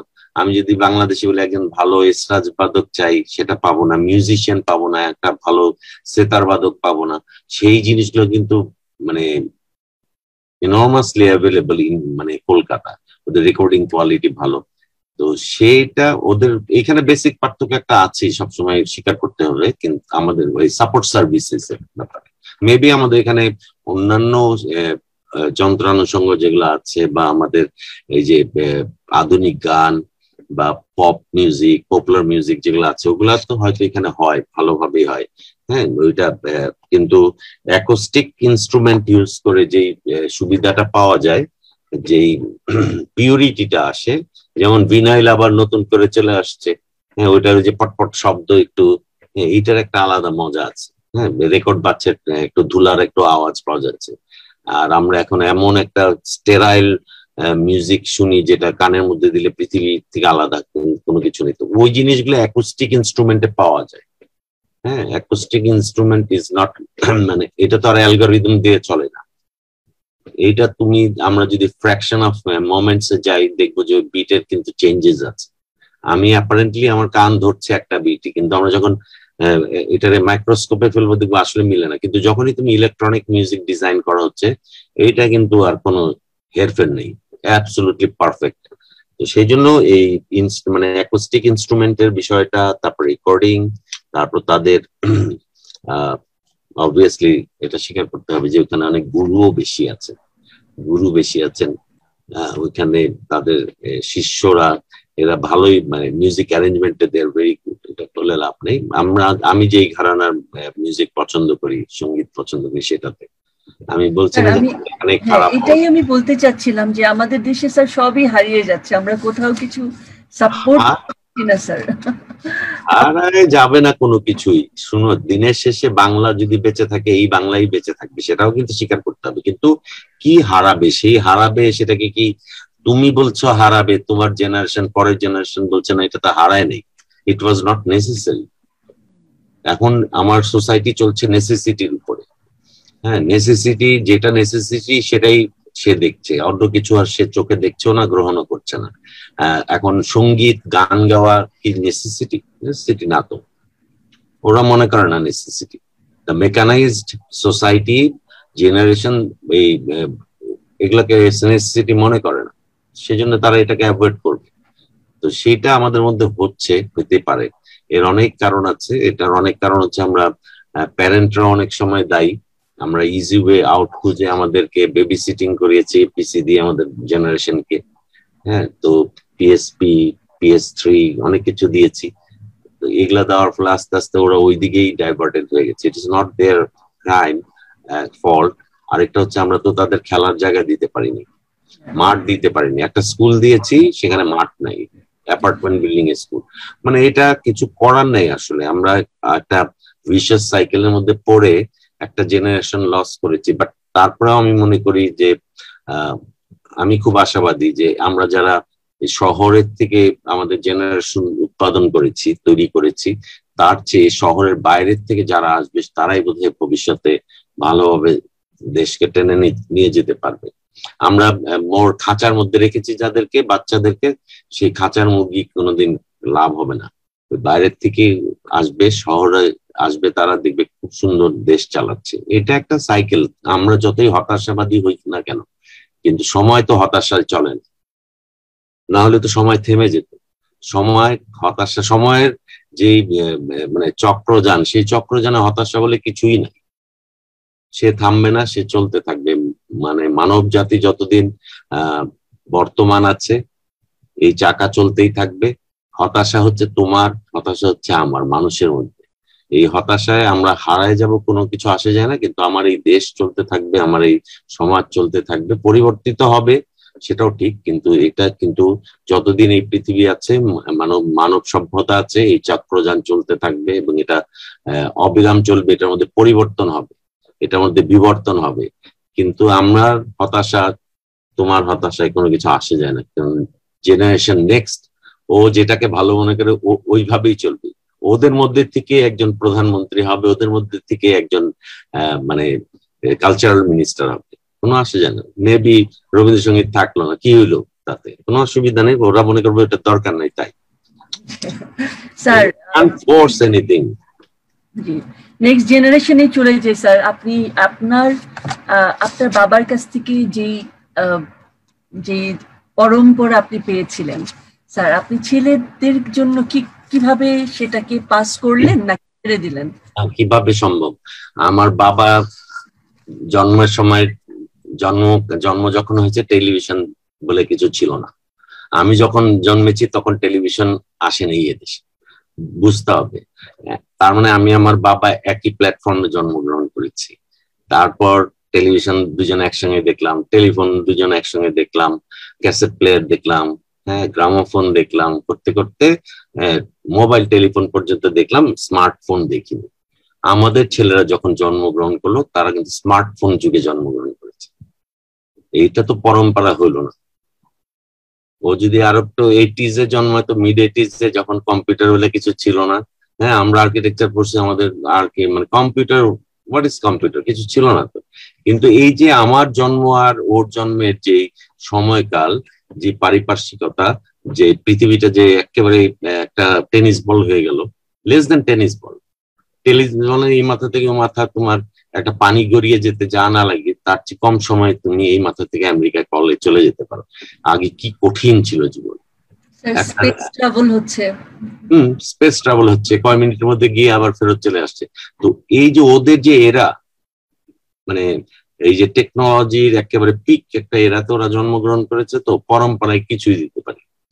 একটা পিসি দেওয়া হয়েছে, সেই পিসিটাকে আমি বলি মানে যথার্থই যে মাইক্রোসফট উইন্ডোজ বলেছেন, এটা একটা উইন্ডো এই উইন্ডো দিয়ে ও কোথায় চলে যাচ্ছে আমি জানি না। ও হয়তো পৃথিবীর এই প্রান্ত থেকে প্রান্ত যাচ্ছে, মাঠে যাচ্ছে, ঘাটে যাচ্ছে, কিন্তু এটাই তার জীবনের উইন্ডো হয়ে গেছে। এতই কষ্ট যে এখন একটা পিসির প্রসেসর ঠিক মতন কাজ না করলে গ্রাফিক্স কার্ড ঠিক মতন কাজ না করলে যা কষ্ট পায়, তার চেয়ে কম কষ্ট পায় বাবা মা অসুস্থ হলে তো এই জিনিসগুলা বুঝতে হবে, এটা কিন্তু আমার তোমার কারও হাতে নাই। We had to do this আমরা দিতে হয়েছে, দিতে হবে। এখন এটাই তো জীবন। আমরা তো জোর করে তাকে বনবাসে রাখতে পারব না। এই পিসি না দেওয়া মানে কিন্তু তাকে বনবাসে রাখা। একদিন ওয়াইফাই না থাকা মানে তুমি চিন্তা করো যে একদিন ওয়াইফাই নেই তো তোমার বাচ্চারা মানে পাগলের মতন করতে থাকবে কিন্তু। ওর খাবার না দিলেও কোনো অসুবিধা নেই। কিন্তু ওয়াইফাই না থাকলে life without wifi is no life এই জিনিসটা এখন আমি পরম্পরায় কিছু দিতে পারলাম বলে মনে হয় না। একটা জিনিসই দিতে চাই, সেটা হচ্ছে যে আবার বলছি যে বিনয় ভদ্রতা এইটুক যদি দেওয়া শিখাইতে পারি। এর চেয়ে বেশি কিছু শিখাইতে পারব বলে মনে হচ্ছে না। বাট ওরা দেখে যদি কিছু শিখে যে না, বাবা মা ঝগড়া করে না নাম্বার ওয়ান তাহলে ওরা ঝগড়া করবে না, আশা করছি। এটা খুব ইম্পর্টেন্ট কিন্তু। For your kids you must show them that how affectionate you are হ্যাঁ বোথ অফ ইউ এটা খুব জরুরি ওদেরকে প্রকাশ করা। বাবা মা ভালোবাসাটা ছেলে সন্তানকে দেখানো ছেলে মেয়েদেরকে সেটা দিতে চাই। দুই নাম্বার হচ্ছে যে আমরা যে মানে হাম্বল সেটা দিতে চাই। আর কিছু মানে ক্রিয়েটিভ কোনো পরম্পরা দিয়ে যেতে পারব বলে মনে হয় না। সেটা আই ডোন্ট থিঙ্ক আমার ছোট ছেলে আর্কিটেকচার পড়ে, বড় ছেলে ইঞ্জিনিয়ার সো আছে ওরা। লেটস সি আমি জানি না। ওদের সময়, ওদের বয়সে তো আমি দিগ্বিজয় করে ফেলেছি। হ্যাঁ কিন্তু ওরা কি করছে জানি না। কারণ ওই বললাম স্ট্রাগল না করলে ওয়েব না থাকলে একটু নন ওয়েবি লাইফ আমাদের বাচ্চাদের। ওয়েবটা তখনই আসে যখন ওয়াইফাইটা না থাকে। স্যার এই যে sociology of cyber space sociology of cyber space যেখানে এই যেটা বললেন যে এই জেনারেশন লিভ করছে। স্যার আমার মনে আছে আমার আম্মা আমাকে ঘুম পাড়াতে মেঘনাথ বধ কাব্য বলে স্যার বা দারিদ্র কিংবা নজরুল কিংবা রবীন্দ্রনাথ। আমি আমার ছোট্ট ছেলেকে ট্রাই করেছিলাম স্যার সোনার তরি বলছিলাম। দেখিয়ে বলছে এটা না অন্য কিছু বলো। নিতে পারছে না স্যার এই জিনিসটা। সো তখন বুঝতে পারছিলাম না যে আসলে কি হওয়া উচিত প্যারেন্টিং এটা আমি কি আমার রিভাইভ করব নাকি ওদের ট্রেন্ডেই যাব? সেই যা শুনে তাই শুনব। কিছু করার নাই ইউ কান্ট হেল্প কারণ একটা রেডিক্যাল একটা রেডিক্যাল মানে একটা রেভলিউশন হয়েছে পুরো জিনিসটা এই টেকনোলজি হ্যাঁ একটা টেলিভিশন চ্যানেল হ্যাঁ আমরা যখন ইউনিভার্সিটিতে পড়ি রাত বারোটার সময় বন্ধ হয়ে যায় বাংলাদেশের পতাকা ওড়ায় বন্ধ হয়ে যায় হ্যাঁ দশটার পরে ড্যালাস দেখাবে ডাইনাস্টি দেখাবে সেই জন্য ওয়েট করে থাকা। পরদিন আবার আরও আগের কথা বলি যখন সপ্তাহে একদিন বন্ধ ছিল হ্যাঁ স্বাধীনতার আগে সপ্তাহে একদিন করে বন্ধ থাকতো সোমবার দিন টেলিভিশন বন্ধ থাকতো পাঁচটায় শুরু হতো দশটায় শেষ। তো সেই যুগ থেকে পার হয়ে যখন বারোটা হলো তখনই মনে হচ্ছে এত রাত জেগে টেলিভিশন দেখে লোকজন তো করতে করতে দেখুন তো রাত্রে ঘুমায় না পোলাপান। নেটফ্লিক্স দেখতে দেখতে সিনেমা দেখতে রাত চারটার সময় ঘুমায়। এখন আমরা সেটা আবার টের পাই। দেখতে গেলে আমরা কেমন কীভাবে টের পাই অনলাইন আছে কিনা দেখি। হ্যাঁ কে অনলাইন আমার কোন বন্ধু কোথায়, কখন অনলাইন আছে আমরা বুঝতে পারি। কি যে অবস্থা? লাইফ হ্যাজ বিকাম কমপ্লিটলি মানে ডিফারেন্ট মানে আমি মনে করি যে এখন ঘরে ঘরে বাড়ি হয়েছে। Even in in our bedroom আমরা দুইজন থাকলে সেই দুইটা বেডরুমের মধ্যে একটা ইনভিজিবল পার্টিশন আছে কিন্তু। হ্যাঁ দুইজন ফোন হাতে নেওয়া মানে হচ্ছে দুইটা ওয়ার্ল্ড হয়ে গেল। এটা কিছু করা নেই। এই ড্রামাটিক চেঞ্জটা মানে রেডিক্যাল চেঞ্জটা ঠেকানো যাবে না। কিন্তু তারপরেও পৃথিবী চলবে কিন্তু। তারপরেও পৃথিবী চলবে, দেশ চলবে, সবকিছু হবে। মেবি ইন ডিফারেন্ট মোড আমরা যে মোড চিন্তা করছি সেই মোডে হয়তো হবে না। সো হোয়াট কিছু করার নেই। আপনি যে এটাকে স্যার এত সহজে নিলেন এটা আমার জন্য খুব আমি আমি খুব ভাবতেই অবাক হচ্ছি যে সহজে নিব না কেন বলো তো এটা তো no way out no way out we tried our best আমরা বলব না যে আমাদের সন্তানরা কেউ খারাপ না বাট আমরা আমাদের মতন করে ওদেরকে দেখতে চাইলে আর হবে না। দোজ ডেজ আর গন আমরা আমাদের মতন করে যদি দেখতে চাই সেটা হবে না। এর মধ্যে যে এক্সেপশন নাই তা কিন্তু না। এরকম কিছু কিছু এক্সেপশন আছে যে আমরা হয়তো ভুল, প্রথম দিকে ভুল করেছি। অনেক এক্সেপশনও আছে এক্সেপশন নাই তা না but majority is the same আমি বললাম। এটা এডুকেশন সিস্টেম থেকে শুরু হয়েছে। এডুকেশন সিস্টেমে আমরা তিনটা সিস্টেম অ্যাডপ্ট করি তো, একটা হচ্ছে এই যে এডেক্সেল হ্যাঁ এই ধরনের একটা এ লেভেল ও লেভেল আরেকটা হচ্ছে আমরা সনাতনী পদ্ধতি যারা, আরেকটা হচ্ছে মাদ্রাসা শিক্ষা। এইগুলা তো এক সময় খুবই কম সংখ্যক ছিল। মেইন স্ট্রিম এডুকেশন বলতে আমরা যেটাতে পড়ালেখা করেছি সেটাই সনাতন পদ্ধতিতে। সেইখান থেকে এদিকে যখন মেজরিটি হয়ে গেল, আমরা মনে করি আমার ছেলেরা ইংলিশ বলতে পারবে। আরে আমরা তো ইংলিশ বলতে পারতাম না, বাংলা মিডিয়ামে পড়লাম। এখন আমার ছেলেরা ইংলিশ বলতে পারবে একেবারে কেজি ক্লাস থেকে তো ওই দিকে একটু আমরা অ্যালুড হলাম। মানে এটা বাপমার দোষ। এটা আমরাই করেছি ওই দিকটা নিয়ে গেছি আবার কিছু কিছু মাদ্রাসার দিকে নিয়েছি। তিনটা stream had become quite strong মানে অনেক শক্ত একটা অবস্থানে প্রত্যেকেই সংখ্যার দিক থেকে এবং সোসাইটিটাও এরকম তিনটা ফ্র্যাগমেন্টে ভাগ হয়ে গেল। হ্যাঁ একদম দুইটা এক্সট্রিম, একটা মিডল লাইন। আমি এখনও এই মিডল লাইনের উপর অসম্ভব ট্রাস্ট। আমরা যারা সনাতনী পদ্ধতি পড়েছি এবং আমরা মনে করি, এই জন্য বারবার বলছিলাম যে ঢাকার বাইরের থেকে, অন্যান্য শহর থেকে, অন্যান্য গ্রাম থেকে এইখানে আসবে, তারাই দেশ চালাবে। ওইটাই সঠিক শিক্ষা। ওইটাই ওই শিক্ষাতেই একটা মাঠ যুক্ত, ওই শিক্ষাতেই আমার পৌরনীতি যুক্ত, ওই শিক্ষাতে আমার সব আছে, ধর্ম আছে, ইংলিশ আছে। আমরা ইংলিশ বললি না দেখে বলতে পারতাম না। এখন বলতে পারি কারণ আমরা এখন চর্চা করি। ইংলিশ বলা এমন কোনো বড় বিষয় না। শুদ্ধ বাংলা বলা তার চেয়ে কঠিন কাজ। তো সেই জন্য বলছি যে এটা চর্চার বিষয়ে, আমরা এইভাবে আস্তে আস্তে আমাদের এই জেনারেশনটাকে আমার পার্সোনালি তুমি যেটা পরম্পরার কথা বলে I am very much happy with them কিন্তু আমি ওকে জোর করে রবীন্দ্রসঙ্গীত শিখাইতে পারব না, গাওয়াইতে পারব না, ভালো লাগাইতে পারব না। কিন্তু গান ওর পছন্দ। সে আবার ওর গান আবার অন্য গান, সেটা আমার আবার পছন্দ না। তো এটা হইতেই পারে, কিছু করার নেই। এটা খুব কমন ফেনোমেনা স্যার স্যার, একেবারে অন্যদিকে শিফট করি। সেটা হলো, স্যার বিজ ব্যবসায়ী জীবন নিয়ে বলেন, স্যার। এই যে আর্কিটেকচার আপনার ব্যবসা হয়ে গেল একটা ফার্ম তৈরি করলেন, একজন উদ্যোক্তা হলেন স্যার এবং আপনি কীভাবে, আমি স্যার একটু আগেও বললাম সবাইকে যেই যে একত্রিত রাখলেন এটা লিডারশিপ এবং লিডারশিপ স্যার আপনার কাছে অনেক আগে থেকেই ছিল। একেবারে আপনি বাবার কাছ থেকে দেখে দেখে বা কাজ করতে করতে যে বিল্ড হয়েছে স্কাউট কিংবা অন্য যে যে অর্গানাইজেশন গুলিতে আপনি স্যার ছিলেন, এই যে লিডারশিপ আপনাকে এত লোক এত ভালোবাসে মানে স্যার আপনি যখন বলেন সো এই লিডারশিপটা আপনি বলেন স্যার আপনার লিডারশিপের কোয়ালিটি কি? কোন একটা তিনটা যদি আপনি বলেন। লিডারশিপ আমি I am not good leader I am rather good worker আমি খুব ভালো ওয়ার্কার এবং আমি যখন ধরো কোনো কাজ করতে গেলে আমি ধরো টেবিলটা সরাইতে হবে এখান থেকে। কাউকে বলার আগে এই হাত আমি আগে একদিকে ধরে বলি যে ধরো তো দিকে তখন অটোমেটিক দেখা যায় একজন না, চারজন এসে কাজ করছে আমার সাথে। বা ধরো কার্পেট লাগাইতে বললাম অফিসে দুই দিন হলে লাগাচ্ছে না, একদিন বললাম, চলো, আমরা পাঁচ টাকা স্কোয়ার ফিটে কার্পেটটা লাগাই ফেলি। আমি নিজেই লাগালাম, পাঁচ টাকা করে অফিস থেকে স্কোয়ার ফিটের পয়সা নিলাম, নিয়ে ওদেরকে আবার দিয়ে দিলাম। দ্যাট ওয়ার্কস এগুলো মোটিভেট করে। মানুষকে বুঝতে দিতে পারা যাবে না কখনোই যে আমরা different in reality we are not maybe by virtue of or মানে বার্থ আমরা এক একজন কেউ সুবিধা ভোগী সুবিধা নিয়ে জন্মেছি। কিন্তু প্রতিটি মানুষ এক। প্রতিটি মানুষের জন্মগত যে অধিকার পৃথিবীর প্রতি, সেটাকে আমরা নিজেরা, নিজেদের কর্মদক্ষতা দিয়ে কিছুটা তার আগে মূলত পারিবারিক জোরে আমরা ওইটাকে একটু মানে জোরালো করি। কিন্তু আসলে একটা জিনিস বুঝতে হবে যে, আমরা প্রতিটি মানুষই কিন্তু আসলে একভাবে জন্মেছি।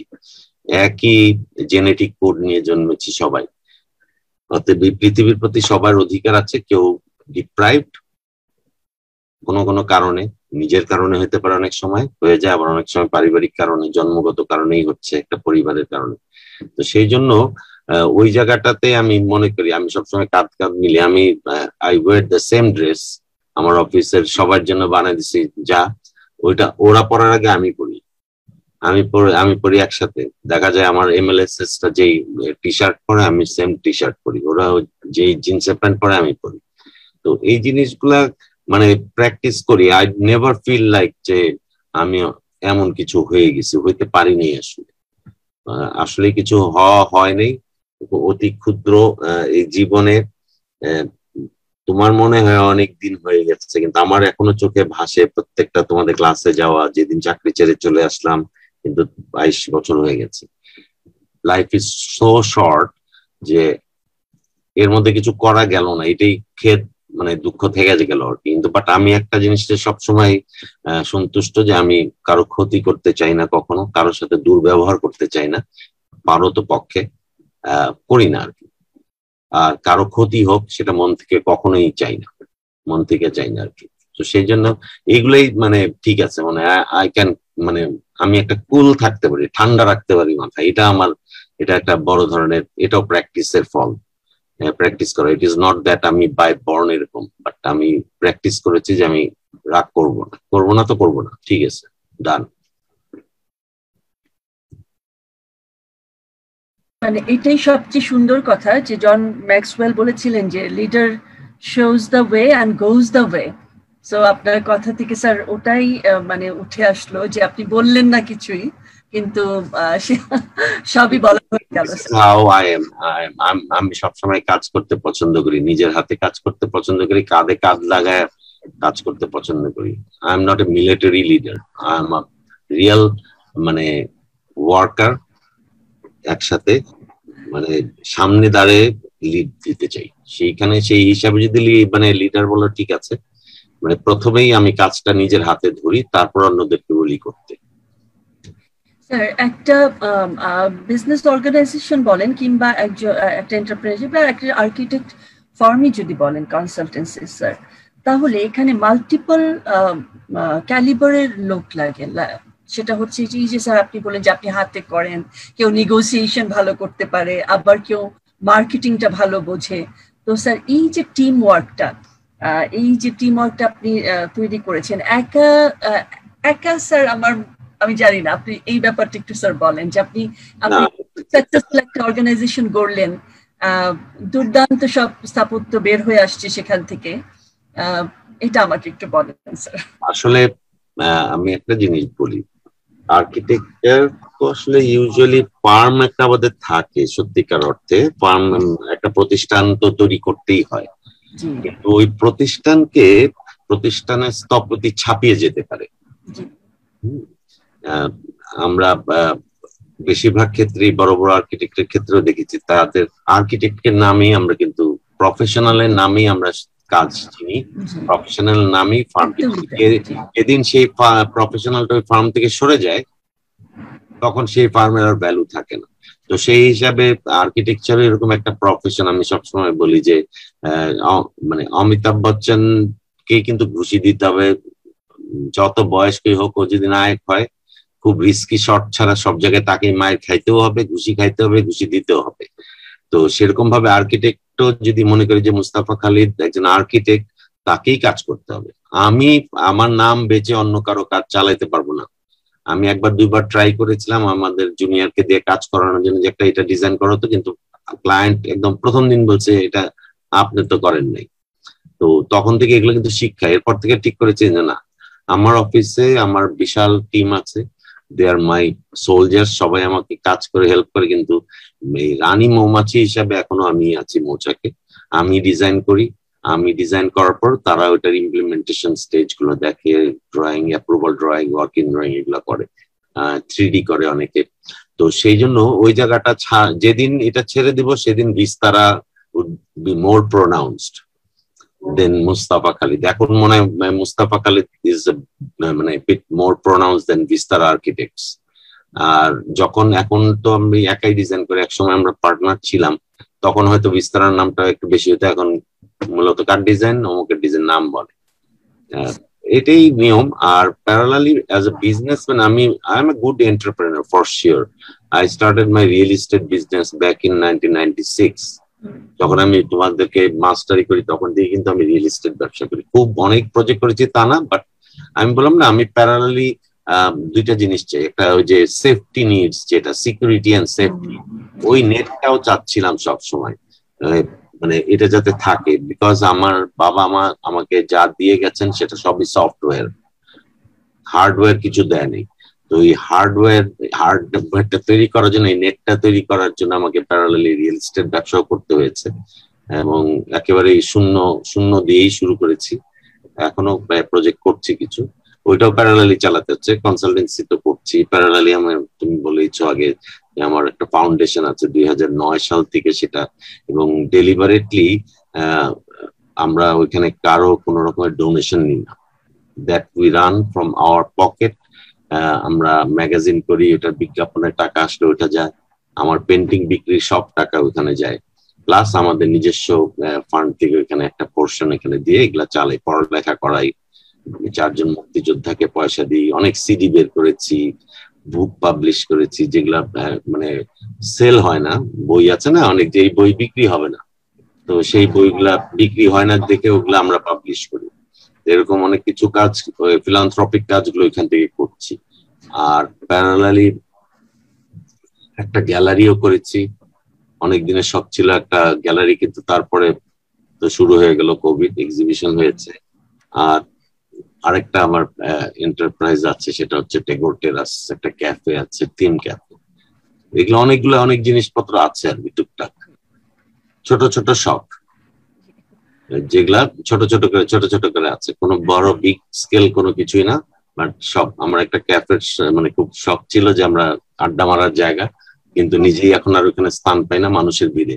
এত ট্যাগোর টেরাস এটা স্যার একটা খুব সুন্দর জায়গা হলো, আমাদের স্বপ্নের জায়গা। মনে হয়, এটা খুব ভালো বলছে স্যার, এখন আপনার জায়গা হয় না সেখানে। আমরা সবসময় অকুপাই করে রাখি। স্যার, আমি আমি যেটাই বলতে যাচ্ছিলাম, আপনি একটু আগে থেকেই সেটা বলে ফেলছিলেন, স্যার। আমি কোশ্চেন করতে পারছিলাম না। ফাউন্ডেশন নিয়ে আমি আসলে একটু পরে জানতে চাইতাম যে, এই যে স্যার সেলফ অ্যাকচুয়ালাইজেশনে যখন স্টেটে যায়, মানুষ স্যার, যেটা হয় যে নিজের উপর থেকে উপচে পড়ে। নিজে যা আছে ওকে নিজে ফুলফিলড হলাম, বাইরে চলে গেল। দুইটা কোয়েশ্চেন স্যার আমার ভেতরে অ্যারাইজ করেছে। একটা হচ্ছে স্যার যখন মানুষ অর্থনৈতিক, যখন শুরুতেই তো স্যার কারও অর্থনৈতিক অবস্থাটা শুরুতেই ভালো থাকে না। আস্তে আস্তেই গ্রো করে। কিন্তু স্যার যখন মানুষের হাতে অর্থ আসে, তখন দুটা জিনিস হয়। এক হয় অর্থের প্রতি খুব মায়া জন্মায়, খরচ করতে। আরেকটা হয় যে দিয়ে দিতে ইচ্ছা করে, যে যে যা পায় নাই, তাই জানি যে তাকে যদি দিতে পারি, ওই আনন্দটাতে দিতে পারি। তো স্যার, এটা বলার অপেক্ষা রাখে না যে আপনি যে কাজগুলি করছেন, এটা তো স্যার বিলিয়ে দেওয়ার যে যে মানে এই সেই উড়িয়ে দেওয়ার মাতুন এসে কাঙাল তারে করল শেষে। এখন তাহার ফলের বাহার রইল না আর অন্তরালে। এই যে স্যার ফলের ব্যাপারটা যে আপনার ভেতরের এটা স্যার আমি জানি না আপনার কাছে যারা থাকে আমার মনে হয় এইটাই সবাইকে আপনার কাছাকাছি ধরে রাখে। এই যে বিলিয়ে দিচ্ছেন আপনি নিজেকে। স্যার আমি চলে যাই আর অনেকক্ষণ গল্প হয়েছে আমি চলে যাই আপনার গান করছেন কবিতা গানটা গানটা খুব করছেন। জিনিস তুমি যেহেতু কথাটা বললে এখানে আমি একটু কথা বলি কতগুলা জিনিস মানুষ না বিশ্বাস করতে চায় না জীবিত অবস্থায়। এটা যদি বিশ্বাস স্থাপন করতে পারে তাহলে কিন্তু মোটামুটি অনেক সমস্যার সমাধান হয়ে যায় তার জীবনে। নাম্বার ওয়ান হচ্ছে যে আমি চিরস্থায়ী নই।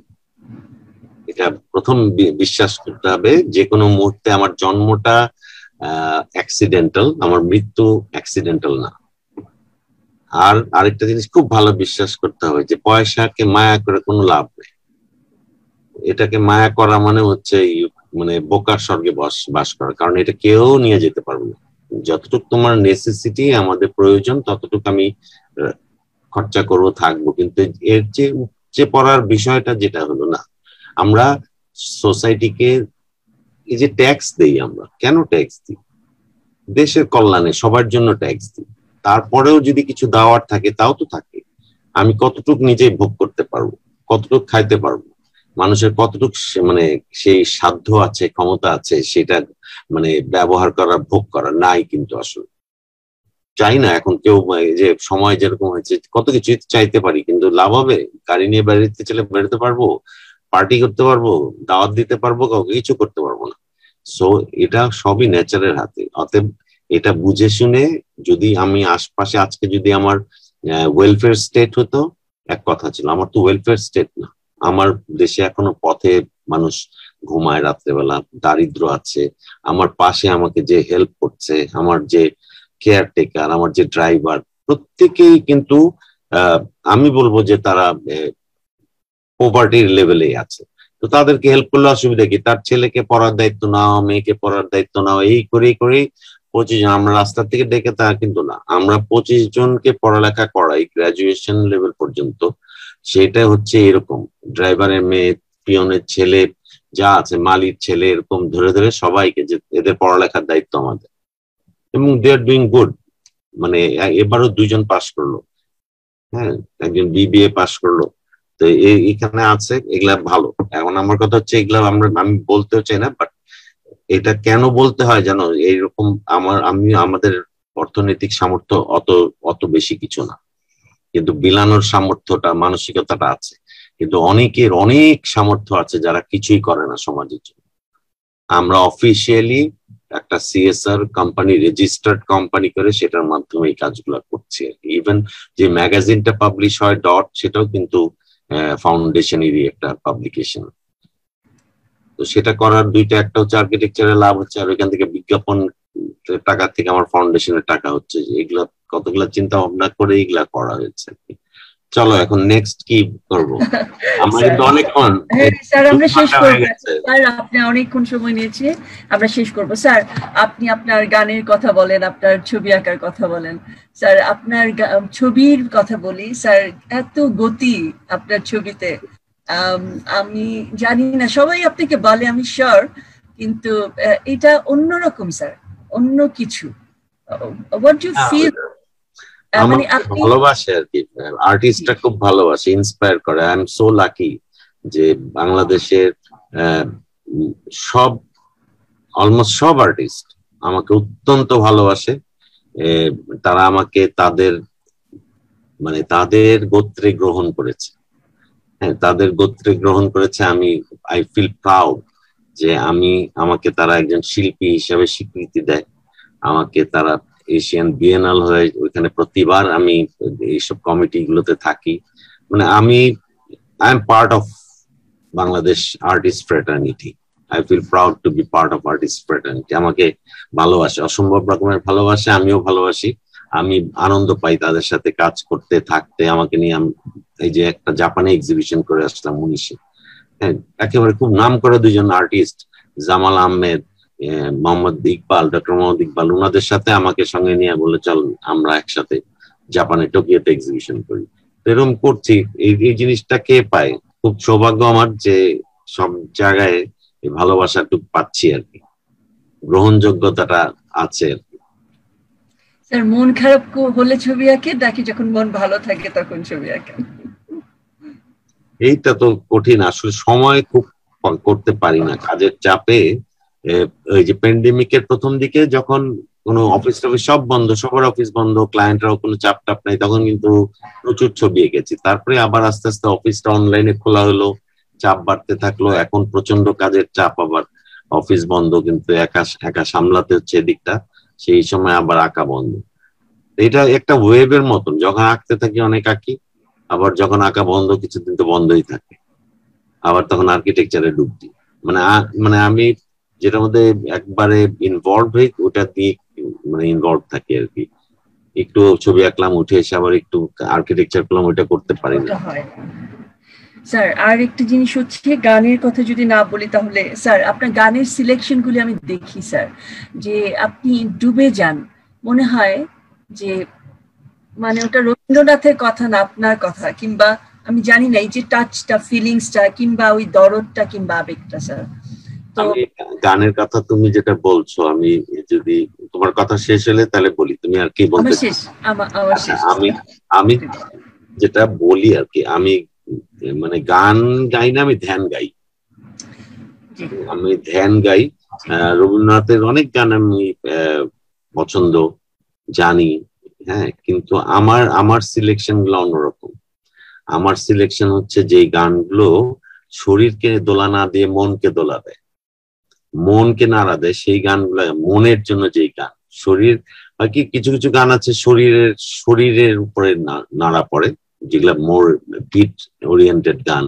হ্যাঁ কিন্তু আমি রবীন্দ্রনাথের যেসব গানগুলো সিলেক্ট করি মোস্টলি প্রেয়ার সংসগুলা প্রার্থনা সংগীত টাইপের এবং আমার ওই, ওইটা গাইতে মজা লাগে বলে আমি গাই। আসলে শোনানোর জন্য গাই না। ওটা গাইলে আমার মনে হয় I am crying I am crying to God মানে আমাকে রক্ষা করার জন্য সব সব দিকে, এই সময়, পরের সময় যে কোনো সময়। তো সেই জিনিসটা পাই বলে ওই গানগুলো ওইভাবে গাই। মানে মিনিমালিস্ট অ্যাপ্রোচে একেবারে ইনস্ট্রুমেন্ট কম রেখে যতটা পারা যায় আর কি ওইটা আমি, আমার গাইতে ভালো লাগে বলে আমি গাই। আমার অন্য গান গাইতে ভালো লাগে না বলে আমি গাই বুঝছ? রবীন্দ্রনাথের অন্য গানও আমার যেগুলাকে গান মনে হয়, সেগুলা গাই যেগুলাকে ধ্যান মনে হয় সেগুলা গাই ধ্যানের গানের ভেতরে ধ্যান। স্যার মেডিটেশন করেন? না আর কিছু করি না। আমি এক্সারসাইজ আচ্ছা, করি না মেডিটেশন করি না কিছু করি না। গানটা মেডিটেশন এক ধরনের আমার কাছে গানটা মেডিটেশন বাট রিয়েল সেন্সে মেডিটেশন করি না। মিউট আমার লাস্ট আর শেষ করব। স্যার আপনাকে অনেকক্ষণ আমি আমি এখন স্যার কোন স্বপ্ন কি অধরা রয়ে গেছে? যে কিছু আরেকটা করা যেত আরেকটা কিছু এরকম কিছু? হুম এটা বলাটা অতিরিক্ত চাওয়া হয়ে যাবে। আচ্ছা থাকুক। হ্যাঁ, অতিরিক্ত চাওয়া মানে আমার চাওয়া আর কি। আমার চাওয়া হচ্ছে যে আর কি চাই জীবনে। আর তো কিছু চাই না। এখন চাওয়া, অধরা, স্বপ্ন, এগুলা কিছু আর নাই আসলে। সত্যিকার অর্থে একটা শুদ্ধ, সুস্থ সমাজ দেখতে পারতাম। দেখে যেতে পারলে খুব ভালো হতো। দেশটাকে, দেশের উন্নতি হচ্ছে, এটা দেখতে পাচ্ছি। এটাতে অত্যন্ত গর্ববোধ করি।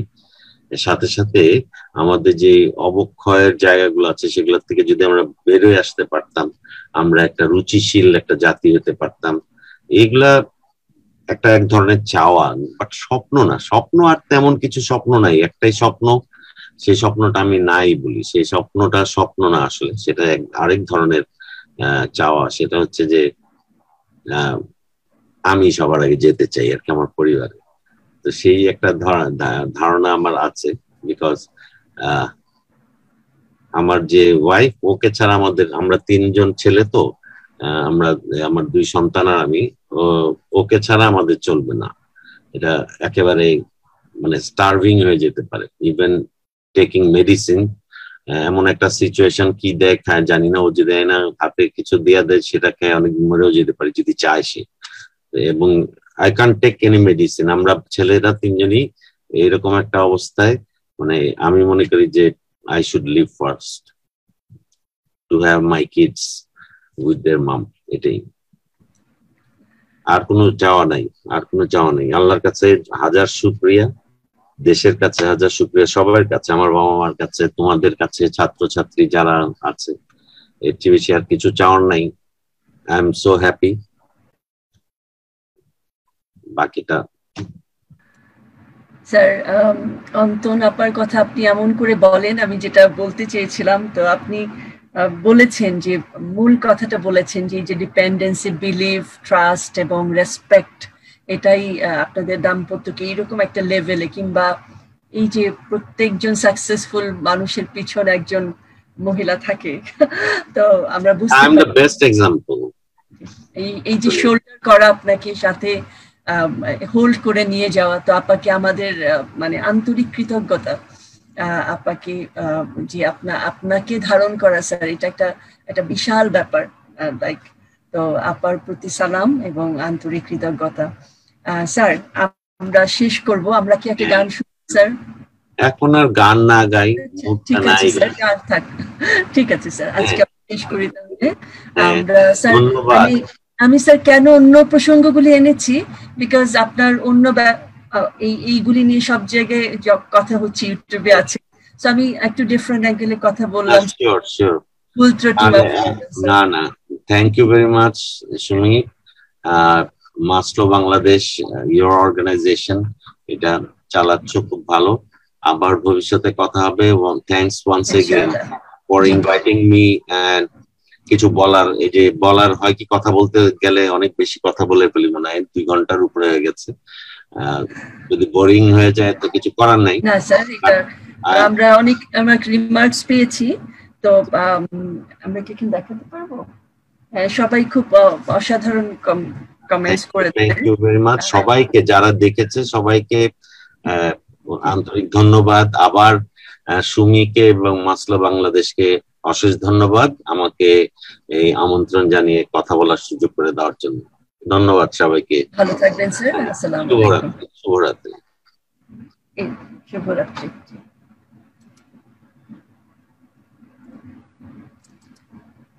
সম্মানিত সুধী এতক্ষণ ধৈর্য ধরে থাকার জন্য আপনাদেরকে আমাদের আন্তরিক কৃতজ্ঞতা। মাসলো সবসময় চেষ্টা করে যে মানুষের সেলফ অ্যাকচুয়ালাইজ যারা আছেন কীভাবে সেলফ অ্যাকচুয়ালাইজেশনের দিকে যেতে চায় যেদিকে কীভাবে যেতে পারেন এবং যারা অলরেডি সেলফ অ্যাকচুয়ালাইজ হয়েছেন, তাদের সাথে আমরা পরিচিত হব যাতে তাদের জীবন, যাতে তাদের দর্শন, তাদের তাদের সাইকোলজি যেন আমাদের উপর রেখাপাত করে এবং আমরা নিজেরাও সেলফ অ্যাকচুয়ালাইজেশনের দিকে ধীরে ধীরে এগিয়ে যেতে পারি। তো সবাই ভালো থাকবেন।